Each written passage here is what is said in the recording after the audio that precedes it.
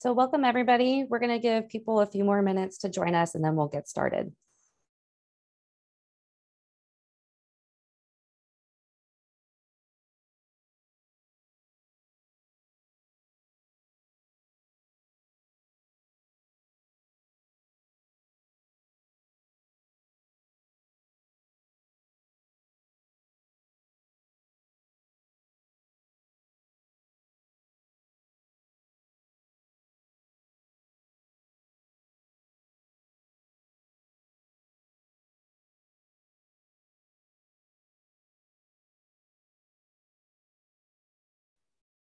All right, I see that we have about 30 people joining us so far. It's about one minute after. Let's go ahead uh, and get started. Welcome everyone to Sharing Space, Balancing Public Access and Habitat uh, at the Palo Alto Horizontal Levee Pilot Project. I'm Samantha English. I'm a senior engineer with the City of Palo Alto, and I'm the city's project manager for the Palo Alto Horizontal Levee Pilot Project. I'd like to start off by acknowledging a few items. First, I'd like to thank my project partners, the San Francisco Estuary Partnership and the Coastal Conservancy. I'd also like to recognize the design firm of Environmental Science Associates, or ESA. This project is definitely a team effort and would not be where it is without their support and hard work. I'd also like to acknowledge that many, if not all of the locations discussed throughout this webinar are located on the ancestral homeland of the Ramaytush, Muwekma, and Tamien Ohlone peoples, who continue to live and thrive here today. Thank you all for attending today's webinar. Uh, throughout the webinar, you can submit questions using the Q&A button in the lower middle area of your screen. Questions will be answered in the same chat box by the project team uh, and time permitted answered live by panelists. Today, we hope to share updates on the progress of the Palo Alto Horizontal Levee pilot project, as well as share lessons learned from designers, researchers, and resource managers on how best to achieve habitat and public access goals. As such, today, You'll hear presentations from myself and Dr. Peter Baye on the project details. Then you'll hear from experts in the field, including Supervising Ranger Lisa Myers, Mr. Lee Ho, Dr. Lynn Trulio, and Mr. Philip Higgins. Before we dive into the presentations, I'm going to hand it over to Heidi Nutters with the San Francisco Estuary Partnership to get us thinking about these topics with a few icebreakers. Heidi, would you like to take it away? Hi, Sam. Thank you. Um, I'm going to switch to my screen um, in just a minute here, and we will get started.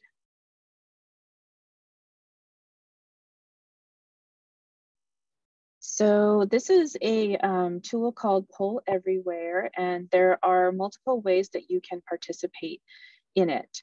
The first is by web. You can use your browser, your, your phone, a tablet, um, just anything that has a browser on it and go to the website pollev.com um, and it will ask you to enter a code and you enter Clean Bay 989 um, and then it will give you the prompt for the question that Sam's going to explain in a moment. And the other way you can access it is by text um, you text to 22333 on your you know, phone or other device. Um, and similarly, you know, it will give you a prompt um, after you enter the code clean bay 989. Um, so feel free to let us know if you have any um, issues with that. Um, and I'll hand it back over to Sam to walk us through the questions. All right. Thank you, Heidi. So the first question is, what are important elements of public access to the Palo Alto Baylands to you? Um, if you can limit your response to one word response, that helps with the word cloud. Um, and as you start submitting those responses, they should start popping up on the screen um, and hopefully indicate what just what that means to you. What does public access mean to you? So I see biking, birds, habitat, trails.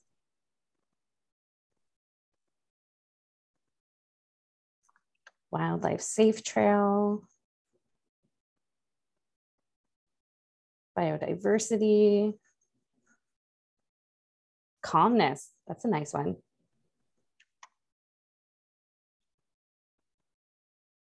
Walks,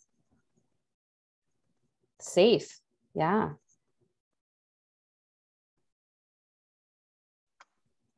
Maintenance. Definitely true.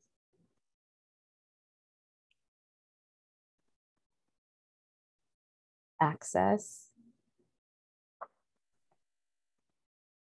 Stewardship. Oh, beauty. That's a great one. Quiet. Nature.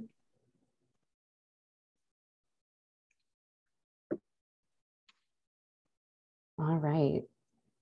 See, it looks like we're getting a few more in. Protection, with conservation. Great. Those are all great answers. Thank you. All right, Heidi, do we want to move on to the next one? Oh, reflection. We got some, oh, protection. We're getting some great like last minute ones in there. All right, so our next icebreaker is what does habitat enhancement mean to you? Uh, again, if you can limit it to one word responses, it looked like we were able to squeeze two words in there as well, um, but uh, beyond that gets a little bit difficult. So what does habitat enhancement mean to you? Balance, plants, biodiversity, ooh, protection is a big one balance. That's a great one. Healthy, natives,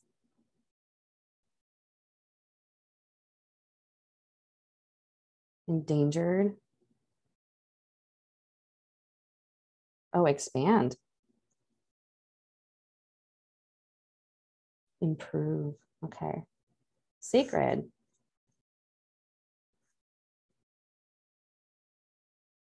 interpretation.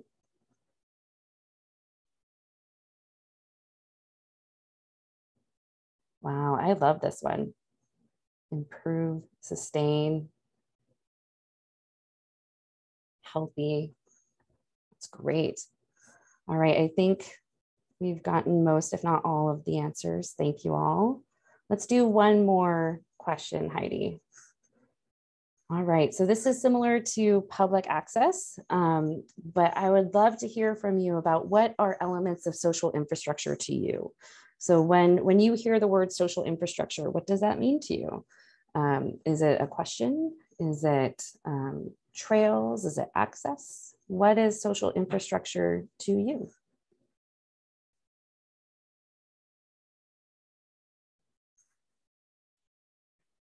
Responsible amenities outreach. People, that's a great one.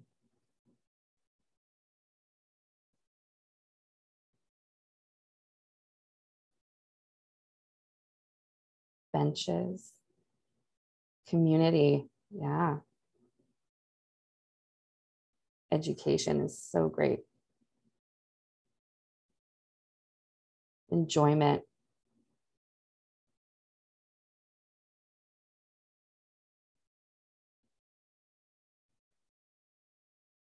network. Wow, these are great buzzwords. Respect, stewardship,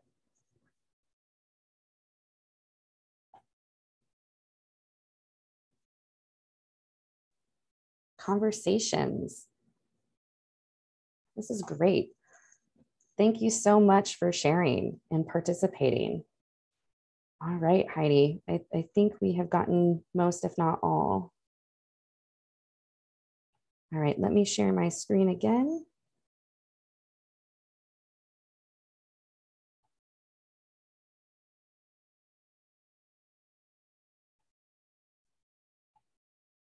Oh, wait.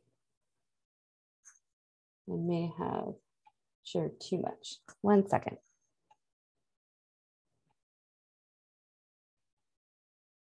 Okay. Can people see my screen? Can I get a thumbs up from a panelist?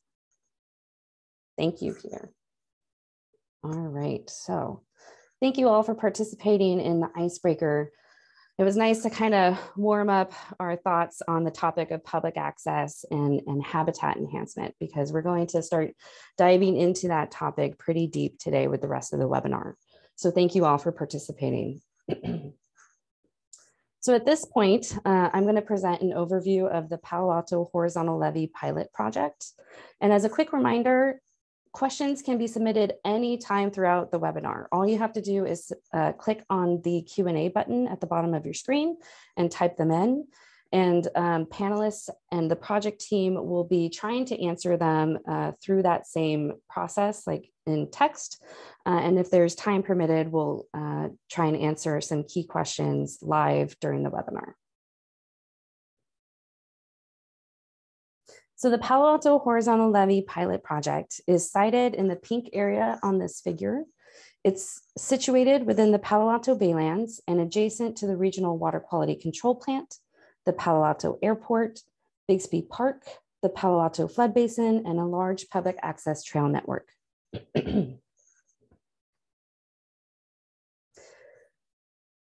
so what is a horizontal levee? a horizontal levee um, is a gently sloping vegetated berm or ecotone slope that is on the water side of a flood control basin or flood control levee.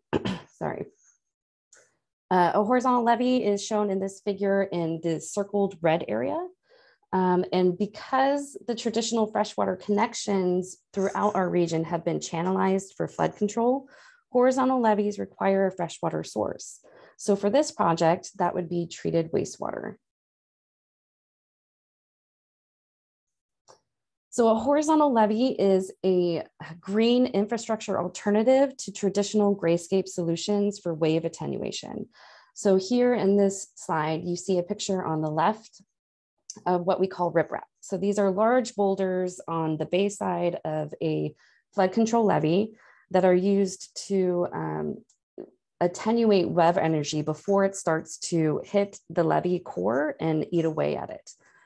An alternative to these large boulders are horizontal levees. On the right, you see Oro Loma Horizontal Levee Research Site.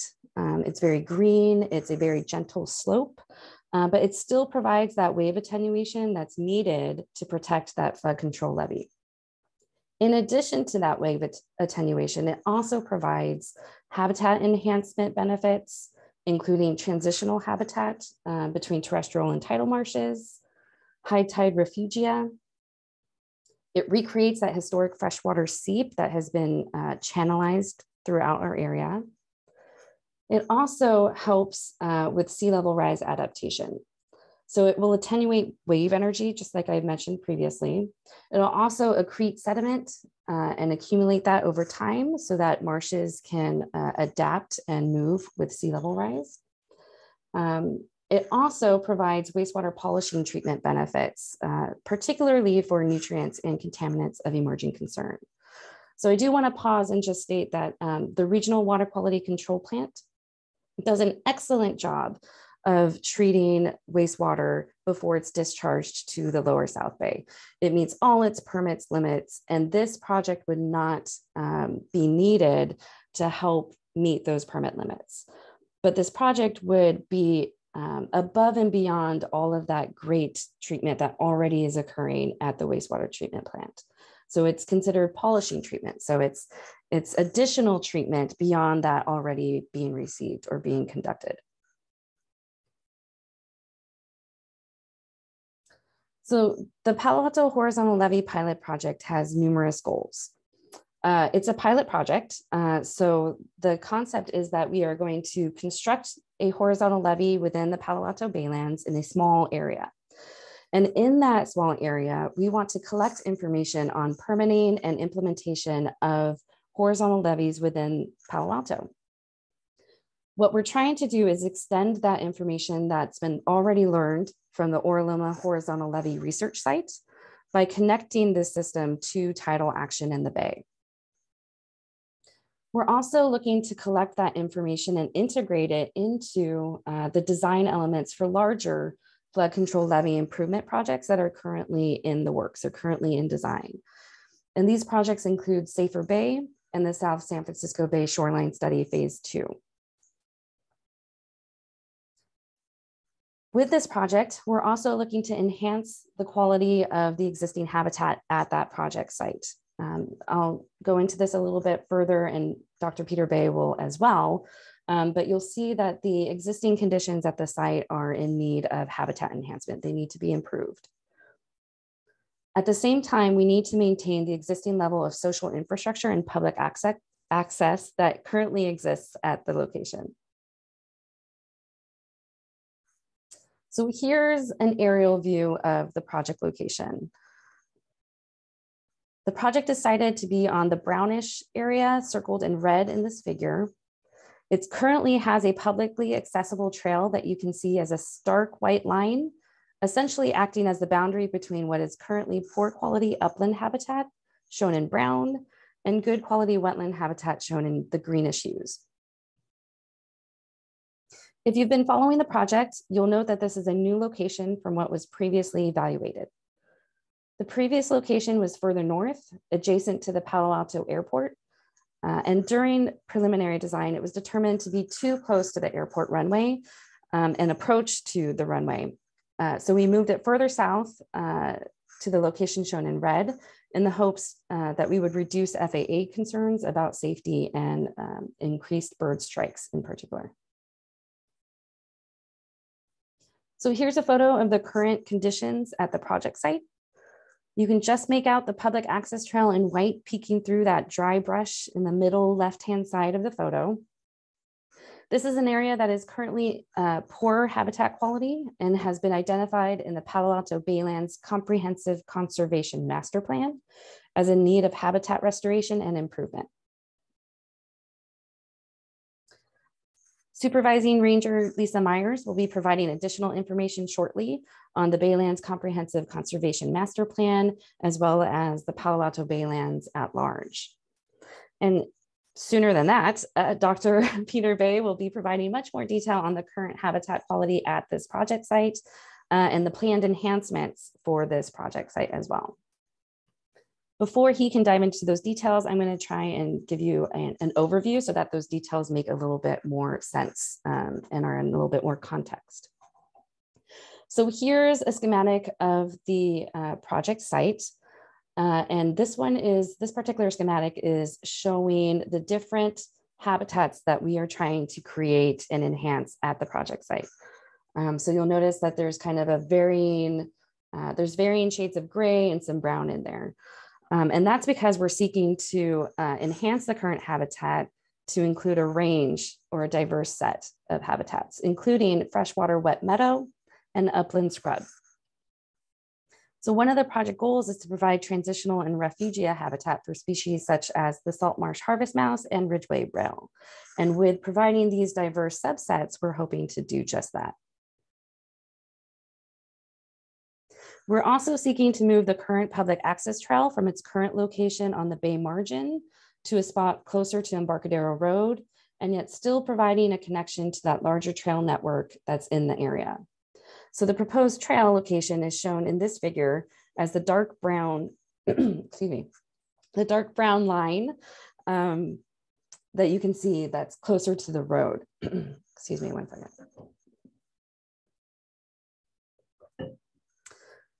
And then in this figure, you can see the current trail that's kind of peeking out again as white in the background graphic. Here's a profile of an area of the project site. Going from left to right uh, on the profile, you'll see that the horizontal levee is going to consist of a small berm with a public access trail on top, followed by a gentle slope that contains a subsurface treatment area irrigated by treated wastewater and then contains a diverse vegetated habitat on the surface. It would then transition and connect to the existing tidal wetland that would be essentially off this page um, on the right-hand side. Next steps for the project, um, we are seeking to continue to collaborate with the San Francisco Estuary Partnership. We are currently progressing the design to a 60% project definition, and we're hoping to finish that up before the end of this year, might bleed into um, early 2022. Then shortly after that, we're looking to uh, conduct permitting, CEQA, and finish up the final design with the hopes of finishing all of that in 2022 and starting construction in 2023. If you want more information on the project details, we have two project websites, one um, hosted by the City of Palo Alto and one hosted by the San Francisco Estuary Partnership. And both are listed on the screen for you um, to look at later uh, if you so desire. So before we transition to the next speaker, I just want to remind everybody that questions can be submitted through the Q&A button. Um, I do see that at least a few have been coming in while I've been talking, um, but I do just want to put that out there and I'll be reminding everybody throughout this presentation that if you have questions, please feel free to submit them uh, through that button. So at this point, I'd like to introduce our next presenter, Dr. Peter Baye. Dr. Peter Baye is a coastal ecologist and botanist with a lifelong focus on coastal beaches, dunes, tidal marshes, lagoons, and their connections to adjacent marine, estuarine, and terrestrial ecosystems. He has worked on planning, restoring, managing, and regulating San Francisco Bay shorelines and wetlands for over 30 years. He formerly worked for the US Army Corps of Engineers and US Fish and Wildlife Service. He has worked for an independent ecological, or sorry, he has worked as an independent ecological and botanical consultant for the last 20 years, serving nonprofit conservation organizations, state and federal resource agencies in planning and implementation of coastal ecosystem restoration projects and management plans. His recent coastal adaptation projects have focused on innovations for increasing ecosystem resilience to sea level rise and climate change. Welcome, Dr. Peter Baye. Thanks. Um, I hope my internet connection is going to be stable throughout this. Let me know if it's it's not. Um, I'd like to um, walk everyone through the uh, uh, site and uh, its setting in Palo Alto Baylands, particularly the, the, adjacent Harbor Marsh, as a way of introducing the um, origin and the logic behind the ecological objectives for the horizontal levee. Horizontal levees um, are sort of a, a, generalized concept, but for their design, you need to fit them to their local environments. Uh, by definition, a, a, a, horizontal levee is supposed to be an ecotone or transition zone, which means it has to relate to the two adjacent ecosystems, one terrestrial and one estuarine. And no, no two estuarine shorelines in San Francisco Bay are exactly alike. They all have their own idiosyncrasies. So I'd like to dive in a little bit and show you what I saw and how it led to some of the, um, the nuances of the um, horizontal levee design here. So first slide. Well, let's start with the terrestrial end of the ecotone. Um, this is the existing or uh, the, the, most recent condition that, that um, I reviewed before we started designing, this is about uh, 2017 or so.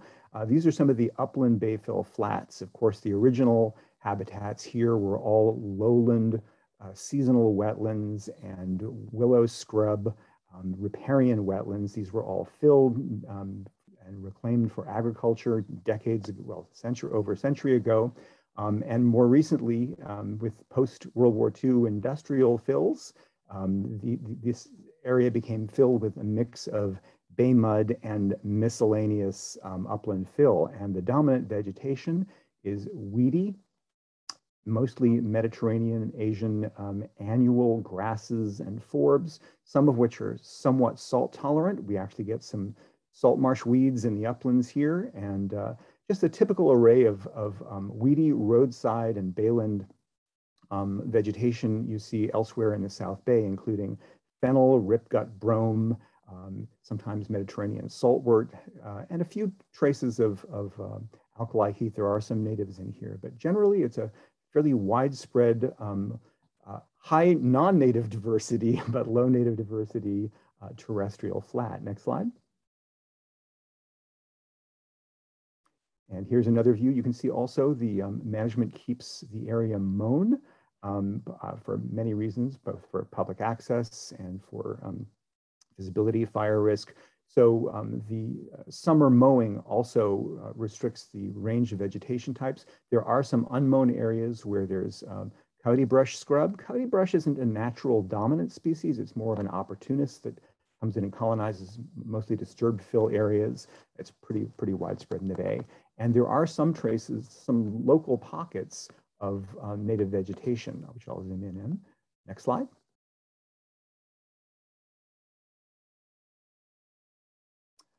Um, here's that broad plain again. Uh, it's even though the native plant species diversity um, may be low, this can be an important habitat for um, wildlife. Um, there are um, studies of wildlife from the adjacent Bixby Park, uh, a capped landfill, which has similar grassland habitats. And of course, uh, wildlife don't restrict their locations like plants. They're not sessile, so they're moving across the upland portions of the landscape. So it's presumed that most of the wildlife that have been recorded at Byxbee Park are also moving through the Palo Alto Bayland Flats. And you can actually see evidence of this by the trail network, not the human trail network, but the subtle um, tracks and trails that, that um, form sort of a reticulate web-like network in the vegetation where animal trampling follows consistent patterns. And uh, coyote, skunk, um, uh, uh, fox, jackrabbits, the, the, whole suite of urban edge um, mammalian uh, predators and herbivores are, are present here. Um, I understand there were, someone mentioned in chat that there were previously larger ground squirrel populations than there are now. That also may have something to do with the landfill. I think um, ground squirrels may be um, subject to control in some areas where there are uh, landfill caps. Um, I don't know if that's the case here. There were formerly burrowing owls up to 2005 in Byxbee Park, and this is generally the kind of habitat that I would welcome Lynn Trulio talking more about. So it's, it's even though it is degraded upland, um, lowland, actually, uh, topographic lowland habitat, it's not insignificant for wildlife. So we are working with a pre-existing um, wildlife community here. Next slide. And here is one uh, example of one of the remnant communities. It probably is not remnant to exactly this location since the whole area was filled, but this is a stand of one of the dominant native seasonal wet meadow grasses. It's uh, alkali um, wild rye or creeping wild rye, Leymus triticoides, and it's sort of like, I think of it as um, the equivalent of cordgrass for uplands, just as cordgrass is one of the natural dominant species in uh, tidal marshes, creeping wild rye is one of the dominant native lowland terrestrial species for um, not hill slope grasslands, not the ones that uh, are we, we normally associate with bunch grass ecosystems, but the lowland valleys and flats that bordered the bay. This is one of the dominant species, not exclusively dominant, but it's reestablished uh, a large clonal patch, meaning that uh, it spreads by rhizome and it forms large uh, single dominant or sometimes single species consolidated stands, just as cordgrass does in, in uh, tidal marshes. And it found its way back to its, the site, um, probably from local remnant populations, and it's occupying some swales here. Um, this is significant because we'll probably be using this species. It's, it is one of the species that was included in the Oro Loma pilot project design, and um, it has a, a, natural place in the community. And the fact that it's still here shows you that we are looking at picking up pieces of relic pieces of a former ecosystem here and reassembling them. And we would probably be uh, salvaging and recycling uh, this, this species and putting it in an environment to which it's better adapted.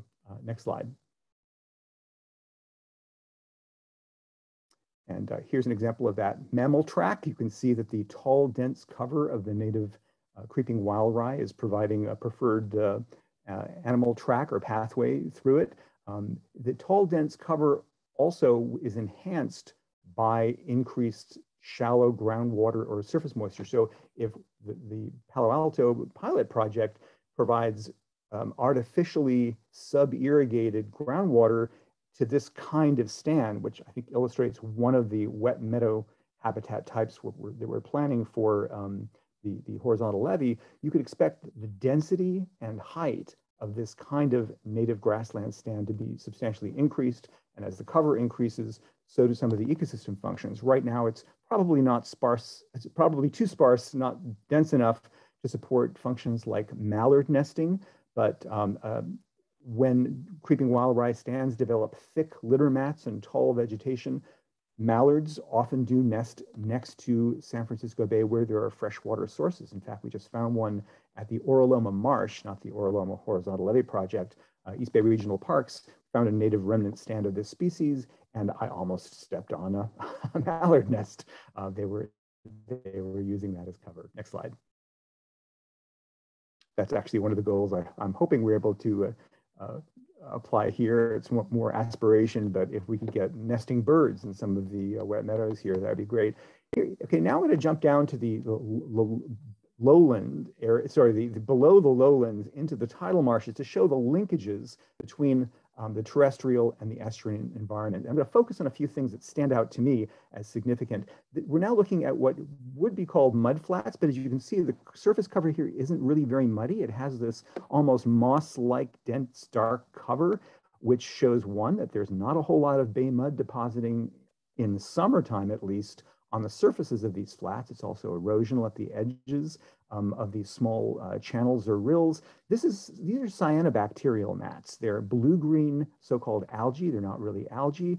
And what's significant is that they usually are associated with areas of very reduced iron that upwells from subsurface. So this is a possible indicator that there are groundwater, sh shallow groundwater seeps upwelling dissolved iron and sulfide from deeper muds here. And this by itself wouldn't be diagnostic, but it's a, the first clue that there are some current hydrologic connections between the uplands and the, the, the estuarine environment, which is exactly the premise of a horizontal levee. Next slide. So on this slide. Uh, the cordgrass present here uh, is probably a mix of hybrid cordgrass, which is difficult to, um, uh, Samantha, I'm still on the same slide, at least on my computer. Ah, thanks.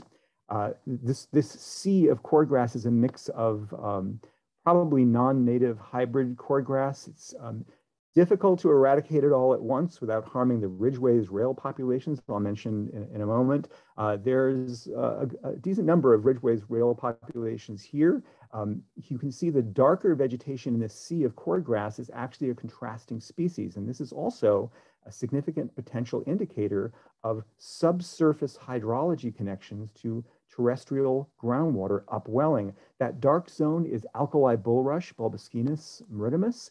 It's normally associated with brackish marshes in the North Bay where there are natural streams that flow out to the bay or seeps groundwater emergence at the edges of tidal marshes. It's also associated with um, larger wastewater outflows that dilute bay salinity. But here we don't have any direct discharges to dilute the bay. So these, these are these large patches which are really robust and perennial. They're always in the same positions. It looks like we may be having um, sort of like artesian springs or seeps coming from deeper terrestrial groundwater emerging from, um, from below the tidal marsh. And this is significant because the discharges from the horizontal levee would add to whatever this baseline is. So where you see alkali bulrush, you're looking at the probable um, connection to additional freshwater upwelling into the marsh. You're also looking at a source of high tide refuge because alkali bulrush provides stiff, upright, taller um, vegetative cover that persists all winter. And um, that's important for conserving marsh wildlife from uh, sheltering them from predators, particularly avian predators during extreme high tides in winter. So these are important habitat elements. Next slide.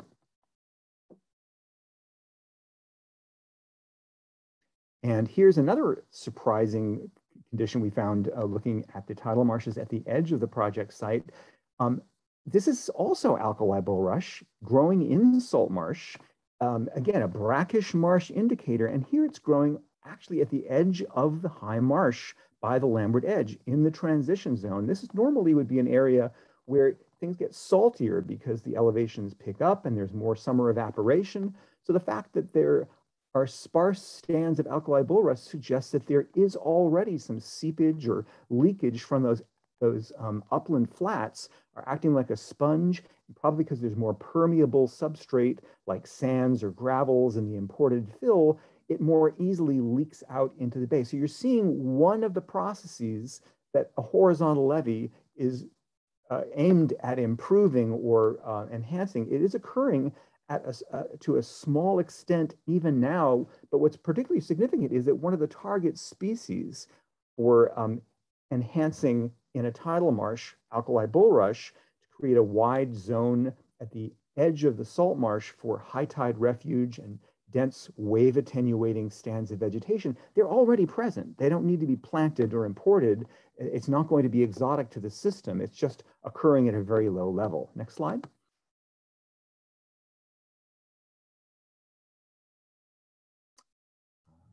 Slide. We'll see. Oh yes, here's a side uh, lateral view of the um, that alkali bulrush stand. You can see it's actually almost climbing up into the uplands next to the upland rural weed species like fennel and oats. Um, you can also see that there is. It's really hard to call this a transition zone. You can see that the edge between upland and tidal marsh is very abrupt. It's not a gradual transition. It's pretty much the edge of where fill was dumped and settled. So it's a one to one or two to one slope. It's you know poorly sorted um, heterogeneous fill that brought a weed flora with it. So there's an abrupt edge between weedy upland vegetation and tidal marsh. This is quite the opposite of what a horizontal levee would do. We, horizontal levee would be aiming at spreading this slope out to be a closer approximation of an alluvial fan or a delta gentle slopes with a broad transition, almost imperceptible, between uh, tidal salt marsh, a brackish marsh zone in the inner salt marsh, and then uh, a wet meadow or, or uh, wetland, freshwater wetland swale. Um, and next slide.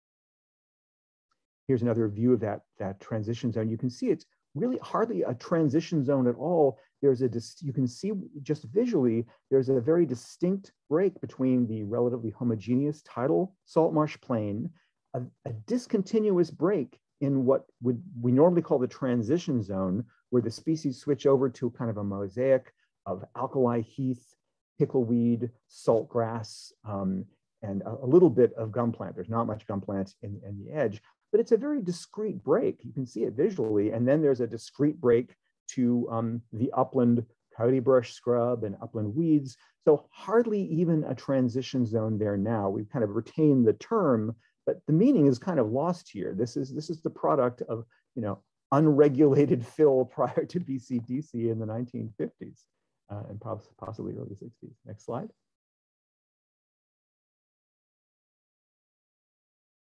And here's another um, wildlife management aspect of the current site. Uh, you can see that there's a public trail within two meters or so of the very abrupt steep salt marsh edge. You can see the transition zone is really in quotes here. there is virtually none. It's a very sharp, sharp edge. It's really not visible when shadows are cast by the vegetation. And you can see that human traffic and of course at nighttime wildlife use trails too um, they're right up by, by the edge of the tidal marsh. You can imagine this during an extreme high tide in winter when marsh wildlife are flooded off the marsh.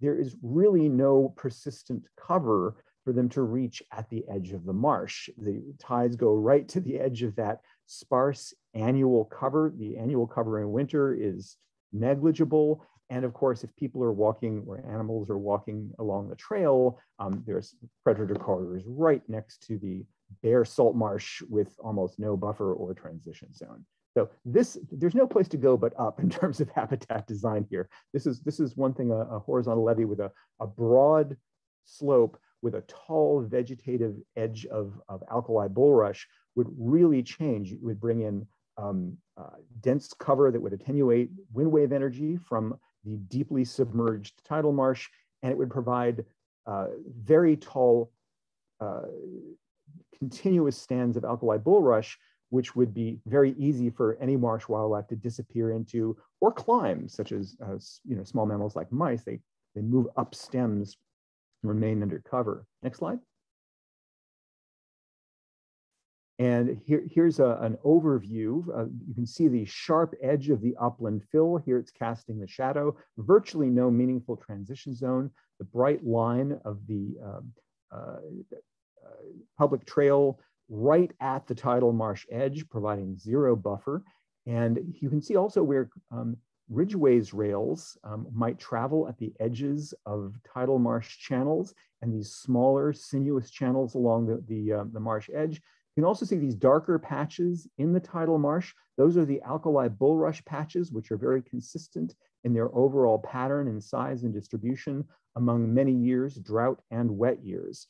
And those also provide um, uh, areas of enhanced high tide cover, but somewhat more distant from the shoreline. A, the horizontal levee would then pr produce that tall cover um, edge, uh, the brackish marsh zone edge, that would link up with these discrete um, alkali bulrush patches in the marsh, some of which are associated with um, Ridgway's rail territories. Next slide. And here's just another view from the previous year, drought year. You can see the graying out of the pickleweed marsh during the extreme drought. But notice that the alkali bulrush patterns are pretty consistent. That suggests that they're being supported even in drought years from, from uh, uh, diluted salinity that is not coming from the bay. That's probably coming from underneath. Next slide. So the horizontal levee would pretty much be in the outline of where you saw the, the white path. And here's just to close up, we do have um, an existing population of Ridgway's rails in the Palo Alto Baylands.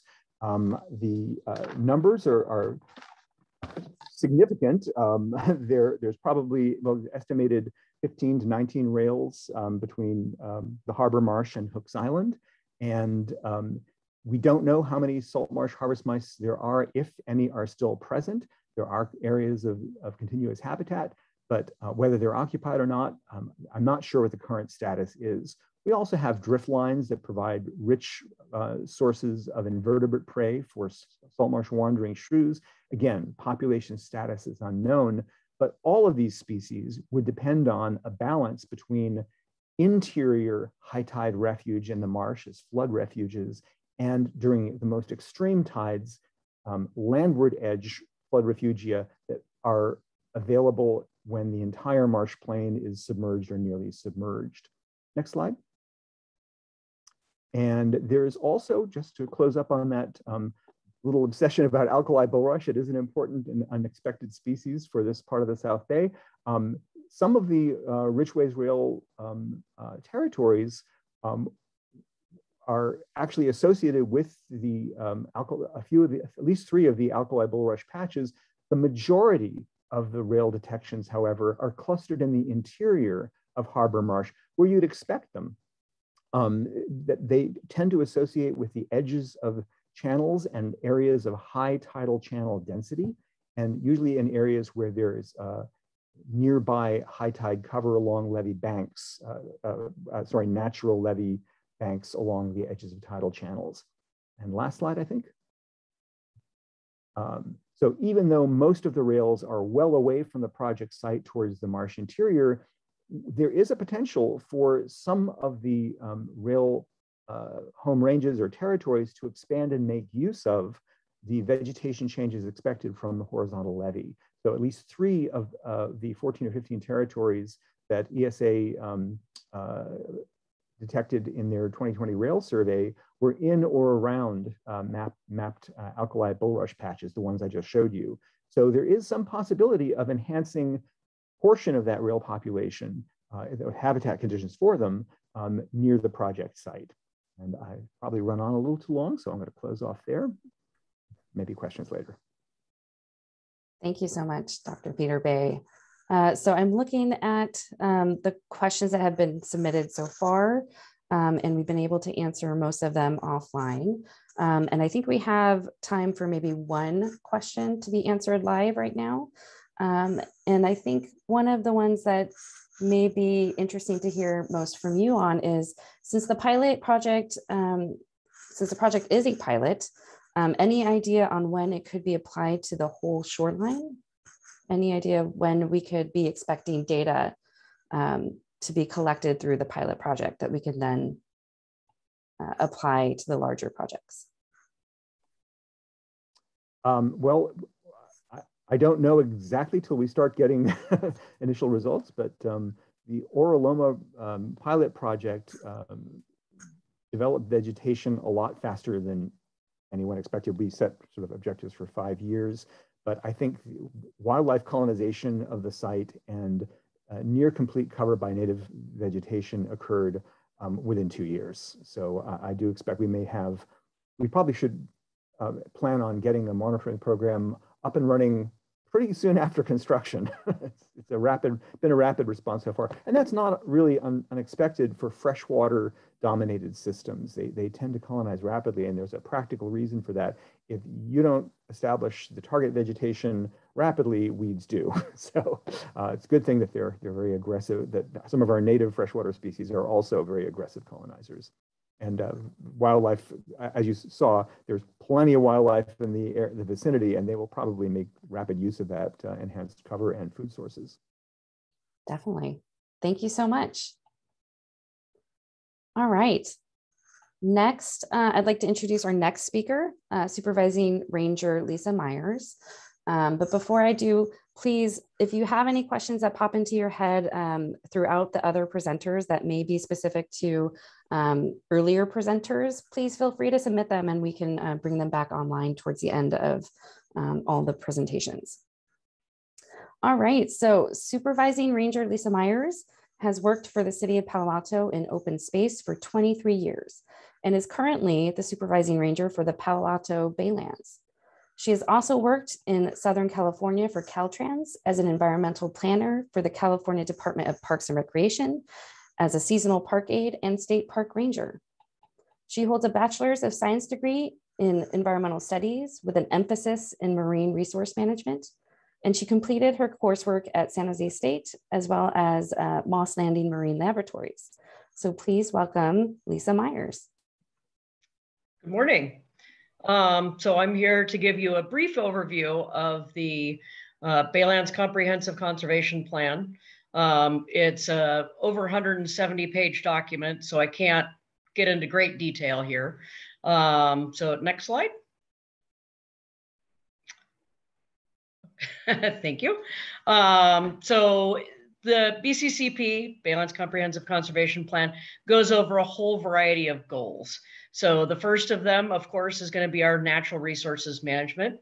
Um, we're looking to maintain, protect, and preserve existing functioning native habitats, eco ecosystem functions, and wildlife corridors. Um, we're looking to manage the baylands as a habitat for native species and the preservation of biodiversity, as well as enhancing and restoring degraded habitats and habitat corridors, and protect and enhance hydrologic connectivity. Next slide. Sea level rise, that's why we're here today. Um, the BCCP looks to incorporate climate change and sea level rise into long-term management policies. As you can see here, we have some rangers who are installing sandbags um, in an area where we know that we have uh, a levee that's not high enough. Um, and you can see where we have uh, flooding during one of the king tides um, I believe that this was 2005. Next slide. Uh, public access and facilities. So uh, we're here to provide opportunities for recreation and access via a habitat compatible trail network and to enable uh, wildlife observation uh, and ensure that future generations develop an appreciation for wildlife, other wildlife compatible recreational activities and connections to the greater Palo Alto area. Um, we're doing that via uh, identifying and developing recommendations for connection points for trails to the greater Palo Alto area, identify areas for wildlife observation that will limit disturbance to habitats and wildlife, such as areas near existing infrastructure, including roads and parking lots, and provide appropriate facilities for uh, visitors to the Baylands, uh, identify appropriate locations for facilities and park amenities, such as parking, restrooms, benches, and water fountains. Next slide, please. The Palo Alto Airport. So some of the goals with that are to promote ecologically sensitive uh, policies for areas at and near the Palo Alto Airport. Um, coordinate projects and planning efforts with the airport management staff to align with the city's federal obligations of operating a public use airport as well as collaborate with the airport management to promote safety and implement wildlife management measures near the runways. Next slide, please. public engagement.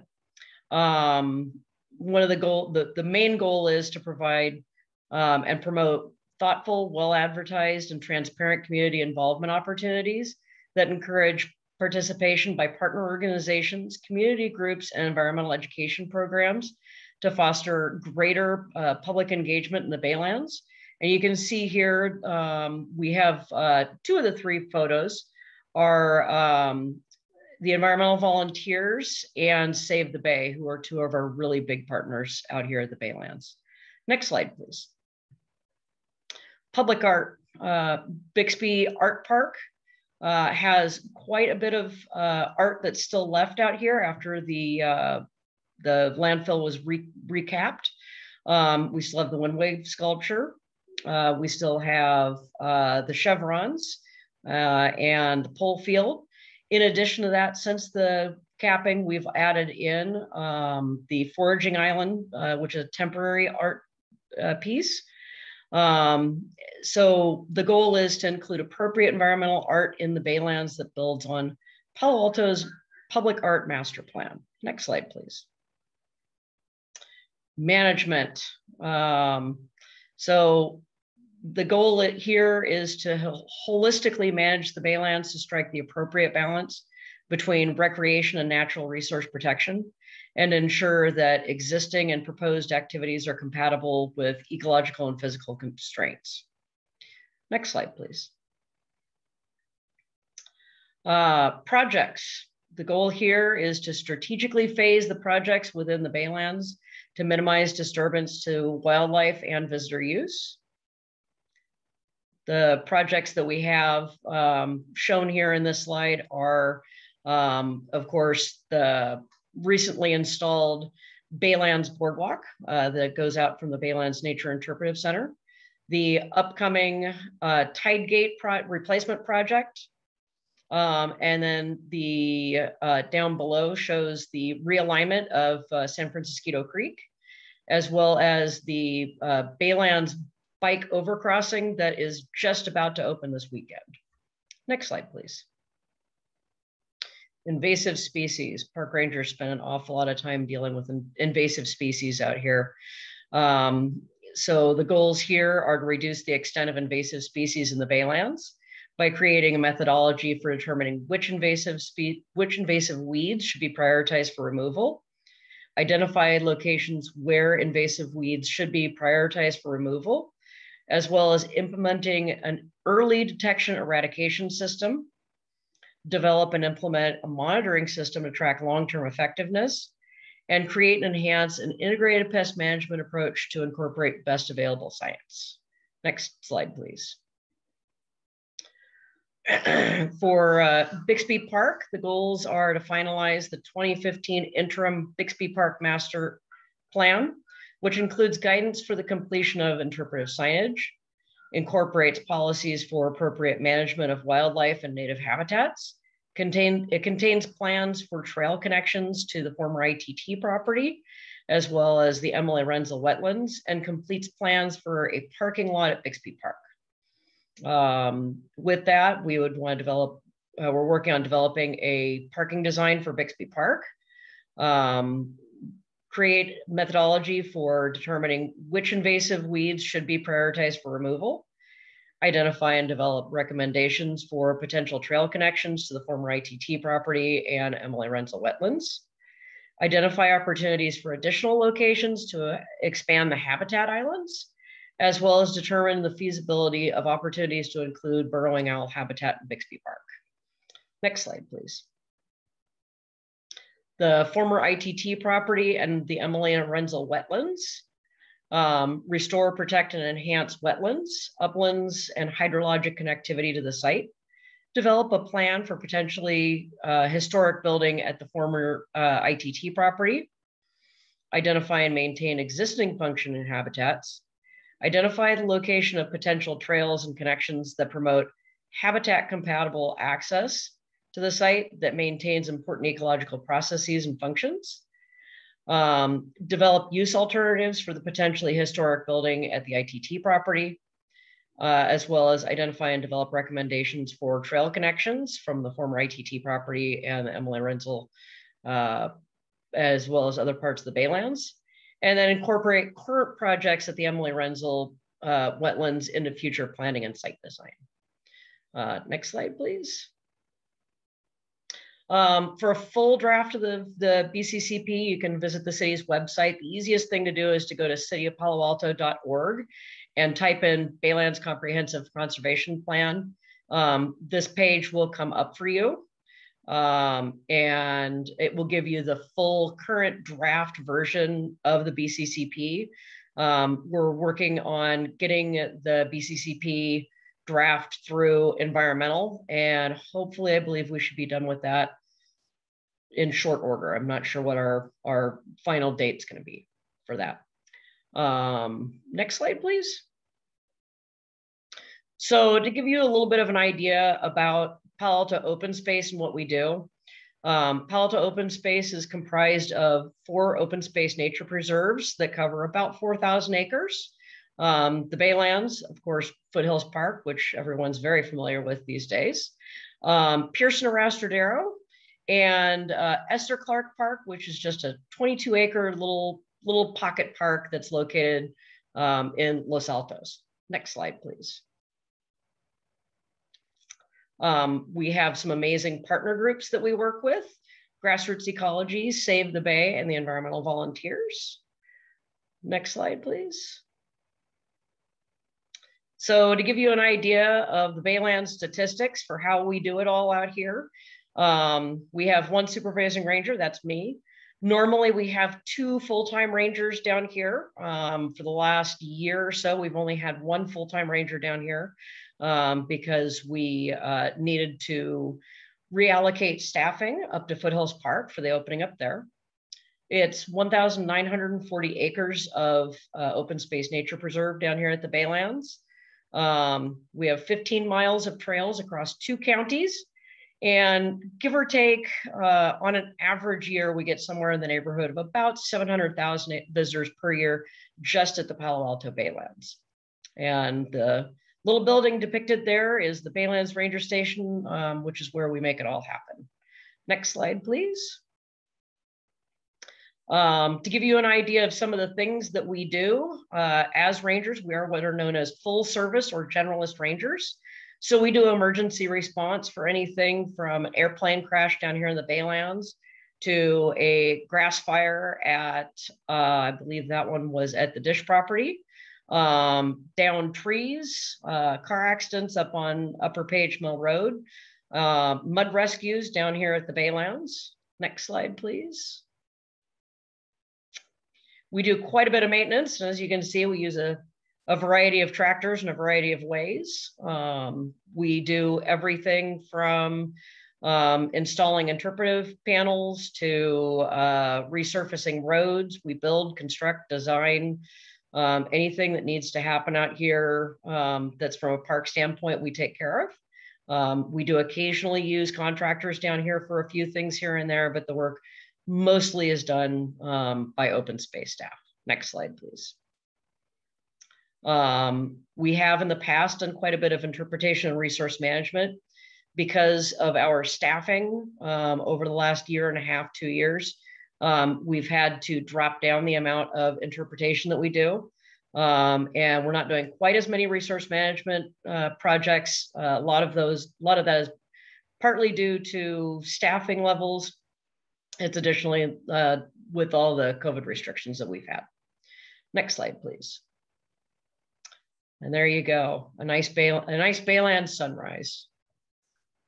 Thank you so much, Lisa. Sure. That was very informative.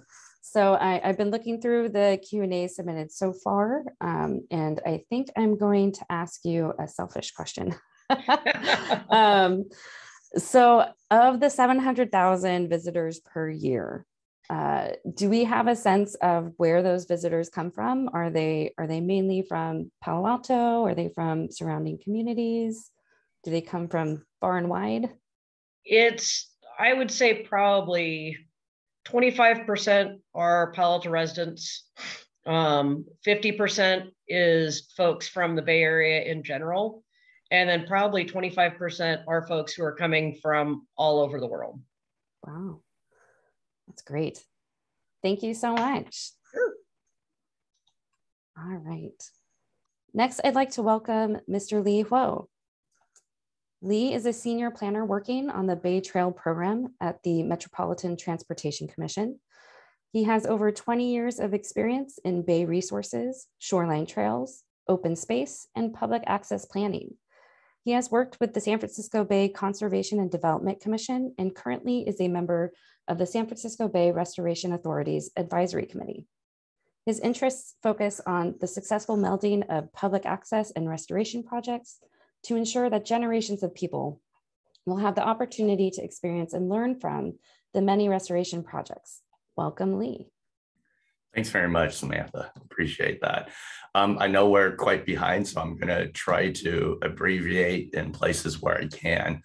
Um, again, I'm with the Bay Trail program that is a program of the Association of Bay Area Governments and work for the Metropolitan Transportation Commission just to make it that much more complicated on how things work. Next.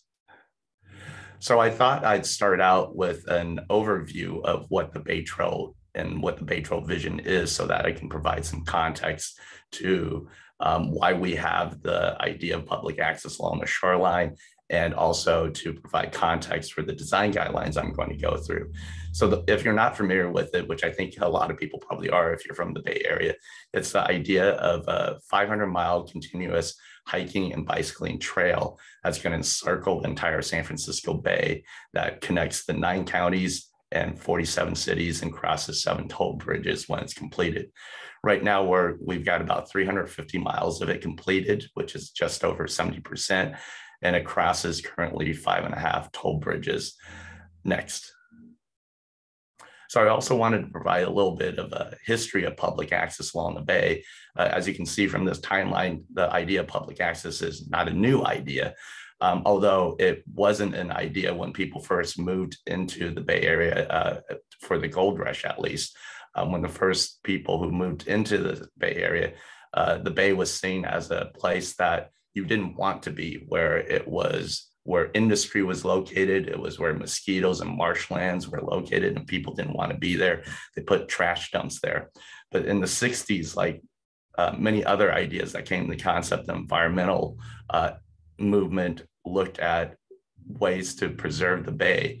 And as a result of that, with a lot of different groups, and probably one of the biggest players at the time in 1961, with the formation of Save the Bay, they all worked towards the creation of the McAteer Petris Act, which is a state law in 1965 that created both the San Francisco Bay Conservation Development Commission uh, and also legislation that essentially required the state to minimize fill within the bay and also provide public access along the shoreline. Essentially, the 60s were a time where people, instead of turning away from the bay, were turning back towards the bay. Flash, flash forward about 20 years, and another state legislation, Senate Bill 100, was created, which um, created the idea of the Bay Trail, essentially. Uh, it asked the Association of Bay Area Governments, ABAG, to create a plan to do that. And in 1989, uh, the Bay Trail Plan was adopted. And 30 years later, in 2019, we had our 30th anniversary. Next. So just real briefly here, uh, the San Francisco Bay Trail Project, the way it's organized, I think the main point I wanted to get across with this slide is that it does have a nonprofit associated, it has a board of directors, but also because of how big of an idea that the Bay Trail is, uh, for the longest time, Bay Trail only had three staff essentially for the entire region. It really is a partnership where the trail is created. It's a lot of public and private organizations. Uh, the responsibility really falls on a lot of the cities, counties, even state, federal uh, agencies, and special districts that really help plan for, uh, design, and build and manage the Bay Trail throughout the region. Next. And kind of related to that, um, one of the things I wanted to emphasize is that the Bay Trail, because it's been around for so long, has broad support throughout the region. There's been resolutions that have been provided by pretty much all of the cities and counties that it touches uh, that supports the idea of the Bay Trail and completing the vision. Next. So we're going to jump in the design guidelines, but before I do that, I want to emphasize that the design guidelines were meant to uh, provide a palette of ideas and also to kind of get people to start thinking about how to design the trail in the many diverse spaces of the bay. Next. So getting a little bit more into the details, it's again to with three staff, we wanted to be able to create a document that could speak for us and to allow anybody to pick up the, the document and have a good idea of what is the vision of the Bay Trail, what is the purpose of the Bay Trail to answer those questions. So then that they can think about um, how to design so that um, how do you can plan, design, and build a trail so that it it, it is uh, fulfills the purpose of the Bay Trail and the principles and objectives associated with it to meet its vision. And also, as part of this document, we wanted to illustrate a series of common uh, uh, design solutions and best practices for common design issues that we see quite often when people are trying to figure out how to put a trail along the bay. And of course, we wanted to provoke thoughtful design through all of these uh, situations. Next. So this is an expert, excerpt from the design guidelines what I wanted to emphasize is on the right side of this page here is what I was mentioning earlier, that we try to really develop these design guidelines so that anyone can read and understand it. Of course, the primary purpose is to target design teams, whether they're engineers, planners or landscape architects so that they can really get a strong sense of what the goals and vision of the bay trail is so that that helps inform how they design it and the issues that are related to designing a trail along the bay which can be very complex sometimes. It's also to help inform our public agency partners and also of course our partners at bcdc and lastly and not least uh, to, for the members of public who are the ones who really support the Bay Trail and its completion on um, how we move ahead with this type of design so they can participate in the process as well whenever a project is moving forward. Next. So I'm not going to get into all the different design principles that the guideline goes through, but I wanted to kind of show this page to emphasize some of the points that we ask people to look at when they're looking at designing public access for the Bay Trail along the shoreline. First, of course, is user experience and safety. Um, how does it feel for people to go through there? Does it feel safe? Is it somewhere that they want to be? Is it attractive? Um, that kind of thing. And probably one of the most important concepts for the Bay Trail is the continuity and connectivity of the trail the whole premise and the vision of the trail for Bay Trail is that it's going to be continuous and circle the entire San Francisco Bay. So whenever we have a break, that of course is going to be an issue in the long run of completing the vision. Um, one of the other principles is what we call universal access.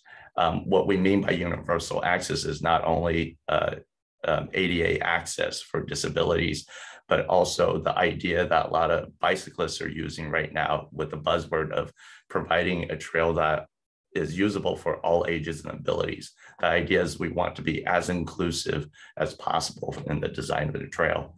Another emphasis, of course, with the concept of Bay Trail is in the name itself, is to be able to provide a bay experience or proximity to the bay. We also want to have people think about expected level of use, which basically translates to capacity. And when you're looking at trails, capacity translates to width. So we want people to think about not only how many people do they think will use the trail when they build it now, but also in the future and when the trail is completed. And this is, of course, the emphasis, the next one of why I'm here today is to talk about compatibility wildlife, which I'll get into more details later. And as mentioned earlier by some other folks, today, one of the, the foremost concepts we have to deal with, and one of the purposes of this particular project is to see how we can adapt to sea level rise. Next. So as I mentioned earlier, the, the Bay Trail, because it goes through so much space in the entire Bay Area, you go through a lot of different spaces. Um, there's a lot of diversity in those type of spaces you go through and the type of design that you implement in those places are going to be different and specific for each one of those spaces. Um, you know, we, a lot of it goes through urban areas like up here, you see the east span of the Bay Bridge. Uh, up on the left, on the lower right, you see the promenade on Embarcadero in San Francisco. Next. to rural areas, uh, which is a little bit more like where this project is located. Uh, on the upper left, you see a boardwalk for the trail over in Alviso. On the lower right is a shot from the trail at Eden Landing and Hayward. Next. And of course, what I'm calling suburban, but that's not really uh, the, the most encompassing name, is that there's everything in between those type of rural and, and urban spaces uh, don't can't be captured that you need to deal with. On the upper left is uh, Alameda on Bay Farm Island, and that's Cesar Chavez Park over in Berkeley on the lower right. Next. I'm just going to go through some really quickly some basic uh, design concepts that we always think of with the Bay Trail. Um, one of them is lighting. Typically, it's for safety and also trail access, but we also need to think about ambient light impacts. And I'll talk about this more later. That's going to be very important when you're talking about compatibility with wildlife. Next.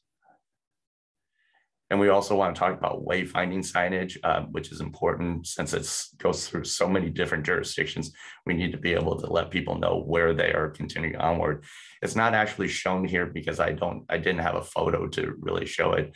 But uh, in these types of wild areas, we want to minimize uh, both signs in terms of the number and also its intrusiveness in this type of space, we would probably use, uh, again, a, a, a, type of sign that's not shown here, which would typically be one of those more rustic low posts, no long higher than three feet high, uh, three inch circumference type of trail signs. Next. Uh, I won't go through this again. I'll just uh, over emphasizing the idea that connectivity is uh, so critical. Uh, we've had some designs in the past where uh, people design public access, but they put a gate there. The lower one on the uh, lower photos is uh, two trails where there were two projects that were developed separately, where they forgot to uh, connect them because of the grade differential. We had to create a third project to uh, deal with that, that grade separation. So just overemphasizing the idea that connectivity is critical to the vision of the Bay Trail. Next. And of course, sea level rise again.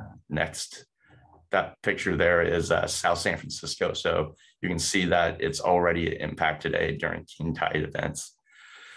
So getting into the details of the compatibility with wildlife, th these are some of the objectives. I, I won't go into uh, the specific details of what you, each one of those bullet points say, but in the great sense of it, it's about trying to develop a bay trail that minimizes impacts to both the vegetation and habitat as well as the wildlife that lives within the, the habitat and vegetative areas, minimizing erosion uh, at the same time, and also minimizing light impacts. But also uh, with a point that I think Lisa made earlier is that we also want to ensure that in these spaces, we provide educational and interpretive opportunities to discuss the value of these type of habitat spaces and restoration projects. Next. So here are some of the design elements that we have put in there. And again, this, this is, these design elements aren't going to be a fit for every single uh, type of restoration project uh, and habitat project that has public access with it. It's really about creating um, a palette of ideas and to generate thinking for designers as they're working on design for these type of spaces. Um, one of the first things, of course, that we need to think about is alignment. Um, what alignment does make sense. We want to stay away from extremely sensitive habitat areas. We want to have the alignment designed in a way where it won't create intrusion by people. We also need to think about parking and staging. Uh, we all know that you get the highest use of trails nearest to staging and parking areas. So in sensitive habitat areas, we need to think about placement of parking and staging areas so that maybe it's further away from the most sensitive areas so that it minimizes the impacts of folks going through that space. Uh, again, the idea of education interpretive science is critical. Uh, observation points. You know, when you do start restricting people's access into these spaces, they do want to go there because they are interested in seeing natural areas and potentially having the opportunity to see some wildlife in that space. So you have to create um, designated spaces for people that they want to go to that will actually give them that experience that they're looking for. So that there needs to be some thought into that when you're designing these types of projects.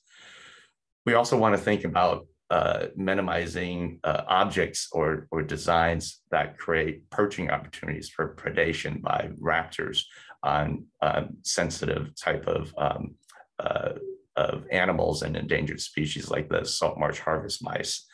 Um, so you typically want to avoid anything that are tall signs, and you also want to create um, a diameter or railing that's uh, of railing and, and other type of things that are not conducive to perching by the by the raptors and, and um, other predators.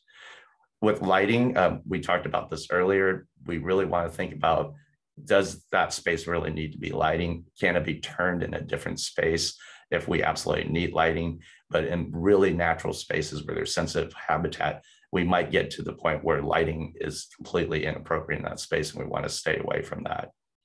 And of course, we want to talk about physical and visual separation. And there's uh, several concepts that we throw out there. One is that if it's absolutely necessary to create habitat access control fencing, which is just fencing that separates the public access from the habitat while creating a fence that isn't so high uh, that it restricts movement by wildlife, but also creates some space at the bottom to allow some travel of um, wildlife through that space as well. Next slide.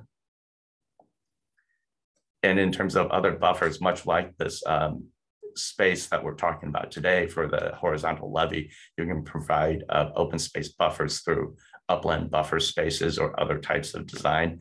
Um, ex in extreme cases, you can create moats uh, wetlands are also natural barriers, I think, and buffers that keep people out of those spaces. People tend not to walk in the, most people, I should say, tend to not want to walk in wetlands. Sometimes they, they do, and we, we hope to design it in a way that keeps them out. And there's also, of course, the natural vegetative design uh, instead of using uh, fencing to create buffers as well. Next slide. So I wanted to give you some examples of existing um, designs in wildlife spaces with the Bay Trail. This is probably one of the most extreme designs that, that we have out there. This is at uh, Eden Shores, which separates a um, large um, uh, subdivision over at the city of Hayward from the habitat and wetland area over at Eden Landing. Uh, what you're seeing on the top left photo is actually a bridge uh, with a uh, two doors essentially that keeps hopefully uh, pets like cats and uh, dogs from getting through to the, the habitat space itself. Uh, the lower right gives you a different perspective of it. And you can also see that a moat was created to create that separation as well. Um, I didn't have a photo of it, but on some of the fence railing here, you do see these large um, diameter drums that are put on top of the fences to kind of prevent raptors from being able to land on them. Next. This is over at um, the upper right photo is at Ravenswood. Uh, this is a good example of observation area that was created at a natural space that people want to look at pretty views, um, get a water experience, and also potential to be able to see some wildlife along with some interpretive signage to talk about the value of um, habitat restoration work and endangered species. Uh, the same similar type of concept over on the lower left over at Eden Landing in Hayward. Next. This is over at Ravenswood, um, over on the peninsula. On the upper photo, it's another good example observation deck with interpretive signage. On the lower uh, photo, you can see that it was a boardwalk, uh, which boardwalks are one of the solutions to be able to um, create a trail through spaces where um, the habitat allows that to occur.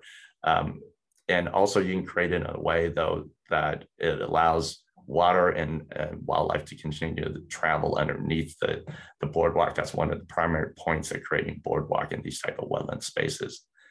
Next. And this is a similar concept of a boardwalk over at a project in the north side of the city of Richmond at Dotson Family Marsh.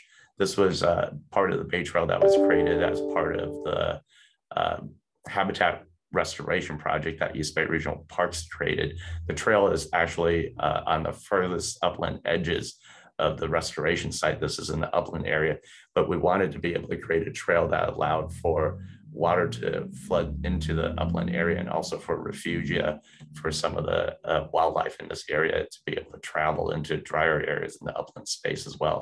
This is probably one of the more uh, expensive and Cadillac versions of a boardwalk. As you can see, it's actually uh, got concrete paving on top of it. Next. And this is over at Hamilton over in the Novato area where there was a restoration project at the old Hamilton airfield. This is part of the Bay Trail. You can see on the lower uh, photo an example of uh, some wildlife protection railing and fencing.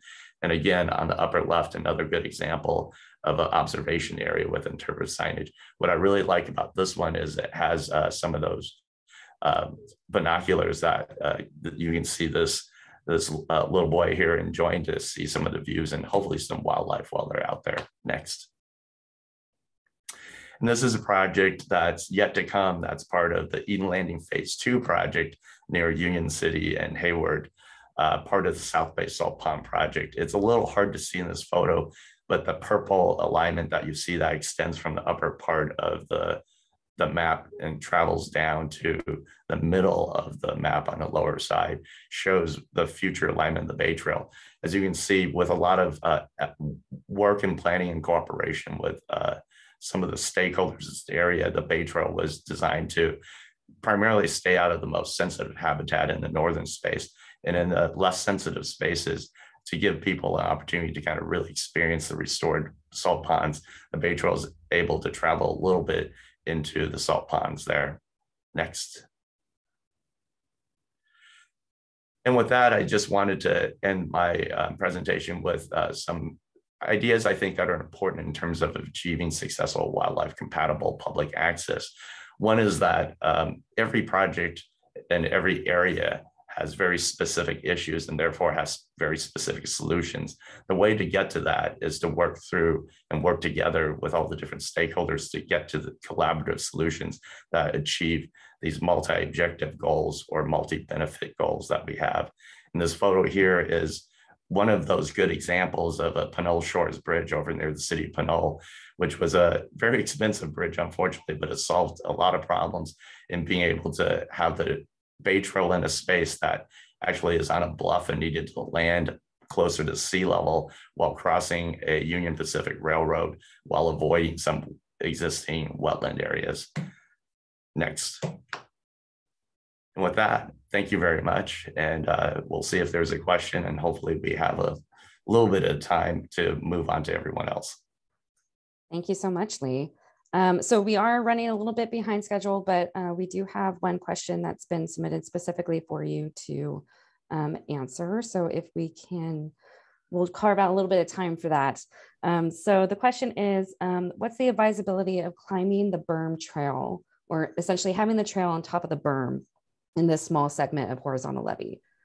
I think the question is um, geared more towards any negative edge effects expected from that. Yeah, well, I'm not as familiar with this project as I should be, but as I understand, this project is actually going to be improvement of where the existing trail alignment is, since the existing trail alignment actually bifurcates the, the, the uh, habitat area, it'll actually be moving the trail further closer or further away from the habitat, creating some uh, upland space for retreat, essentially. So to me, uh, from a public access and wildlife perspective, I think this is one of those examples where you do get multi-benefits, where you get to maintain the trail, uh, Bay Trail, you get to maintain the connectivity of the Bay Trail while being able to retreat and reduce the existing um, impacts that the trail already has on this space. Great.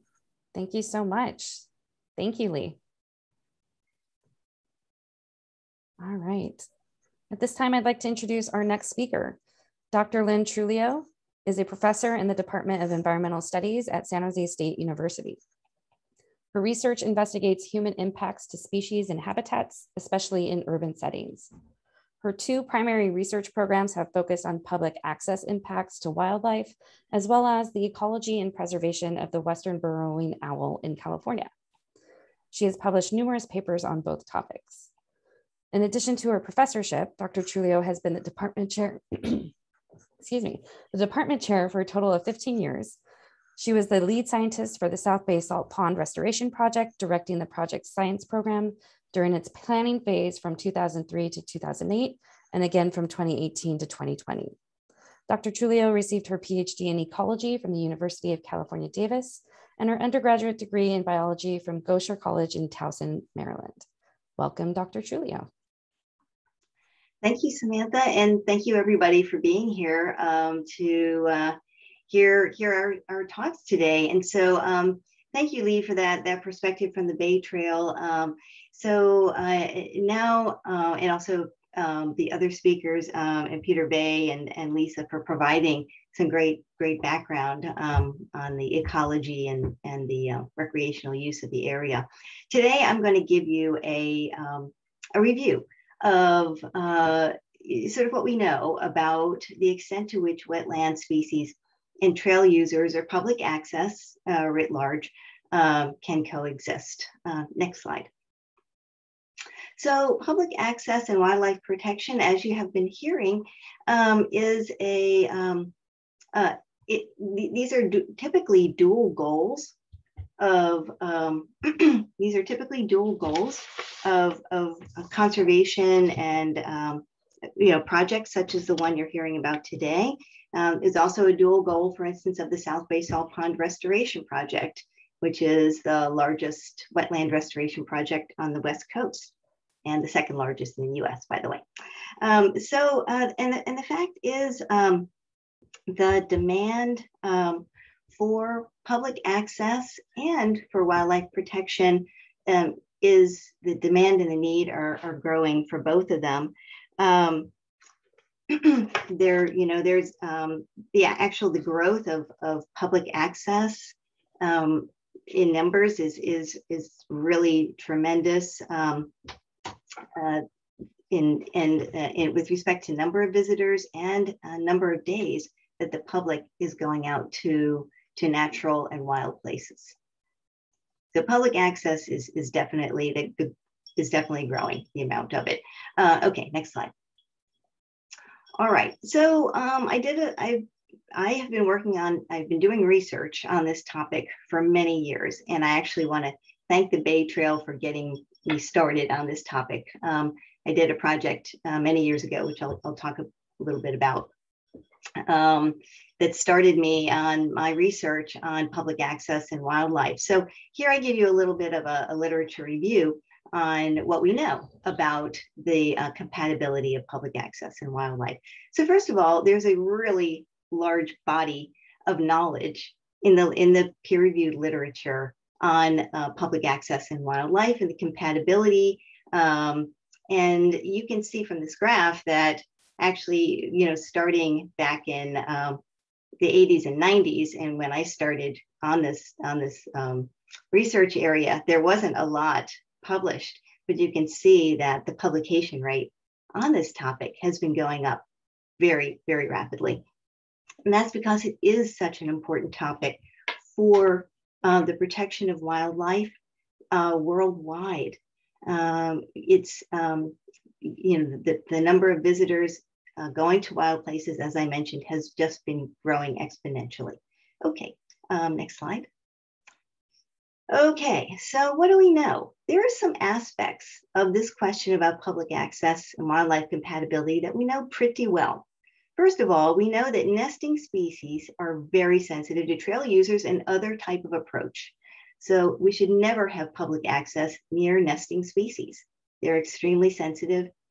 And some of the first original research on this topic was as a result of researchers going into nesting colonies and, and the disturbance caused by researchers. So researchers can be a huge disturbance factor.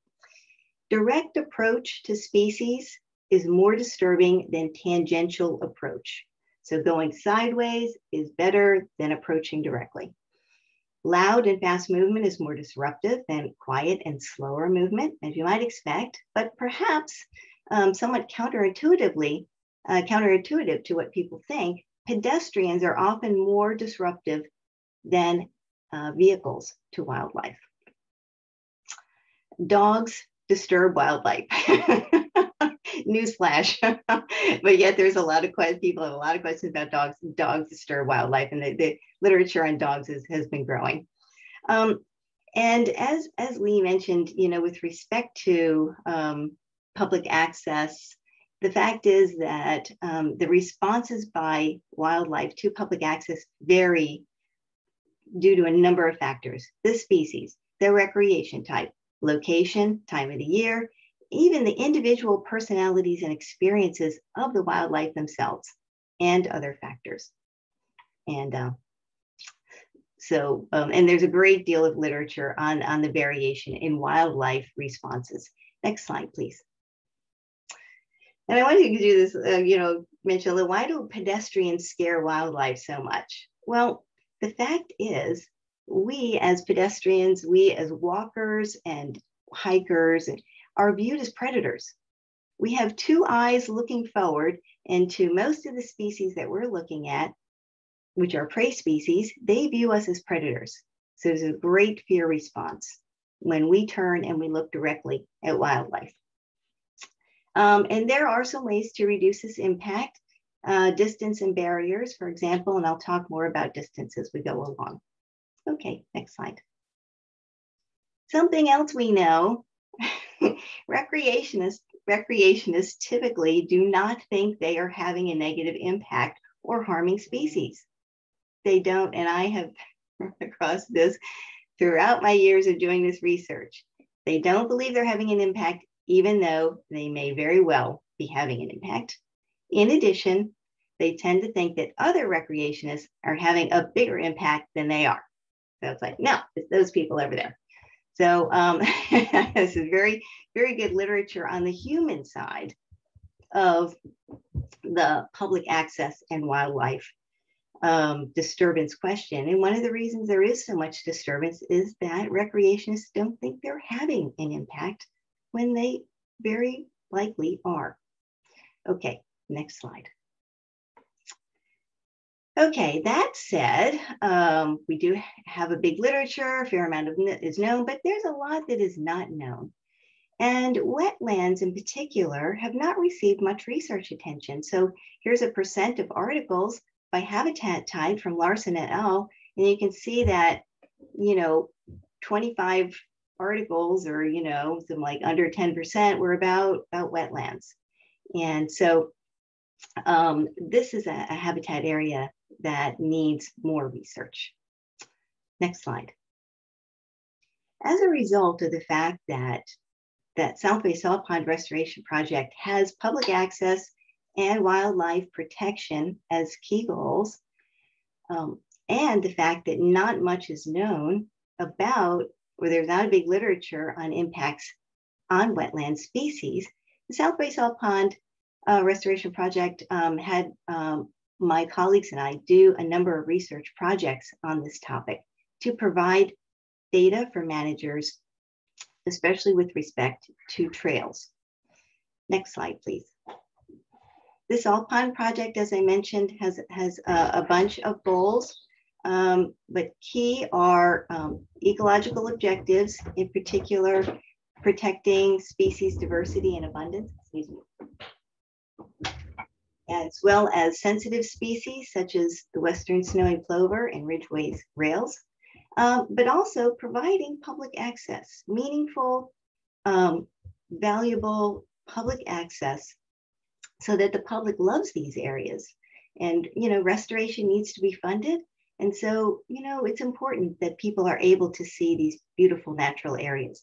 But how do we balance these two objectives? Okay, next slide.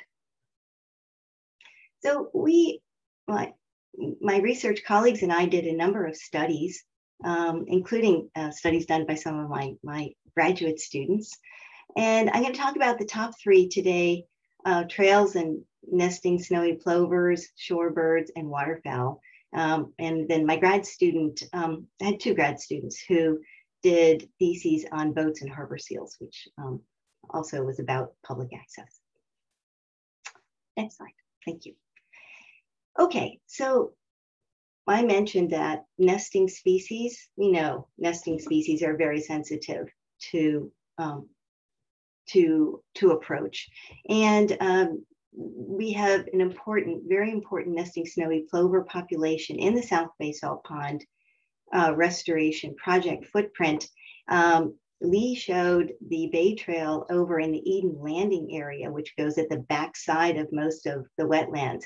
And that trail is in a, is actually in a, in a pretty good location to avoid nesting snowy plovers, which um, that is really the stronghold of nesting snowy plovers in the Salt Pond project area, although they do nest in other areas.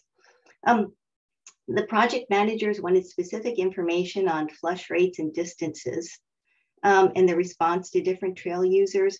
And we also looked at direct and tangential approach. And next slide. So with the South Bay Salt, uh, sorry, with um, San Francisco Bay Bird Observatory, in particular, um, Caitlin Nielsen Robinson, um, who was one of my grad students and worked with worked at SFBBO, uh, we undertook a study. Uh, they they study the, the the nesting snowy plovers um, in the Salt Pond Project, and still do, by the way, to ensure um, to try to ensure population growth and protection. And um, we wanted to, so you, working with them, we did some researcher approaches, um, trail walkers, which are walk tangentially to the plovers. The researchers approach directly, the walkers tangential, and then we had control, where we observed nests that had no walkers approaching. And as you can see, um, researchers flushed uh, birds off of their nest as they approached 84% of the time that they approached. Trail walkers 59% of the time, so it was less, but it was pretty, pretty significant. And when there was no approach, birds flushed off their nest, you know, sort of just naturally, background rate, only 11% of the time. So we can see that walkers and researchers had a significant impact on flushing birds off of their nest, which is a very, uh, very bad thing to have happen because it exposes the nest to predators um, also not being kept warm, all kinds of, you know, um, negative problems. Um, the average flush dis distance was approximately 145 meters, 145 meters. So, um, and the flush rate went up very quickly as walkers approached that, that 145, 150 meter um, uh, mark. So further away, um, you know, wasn't really wasn't much of a problem at all. But then as you reached about 150 meters, birds started flushing. Okay, so that's what we found out about snowy plovers.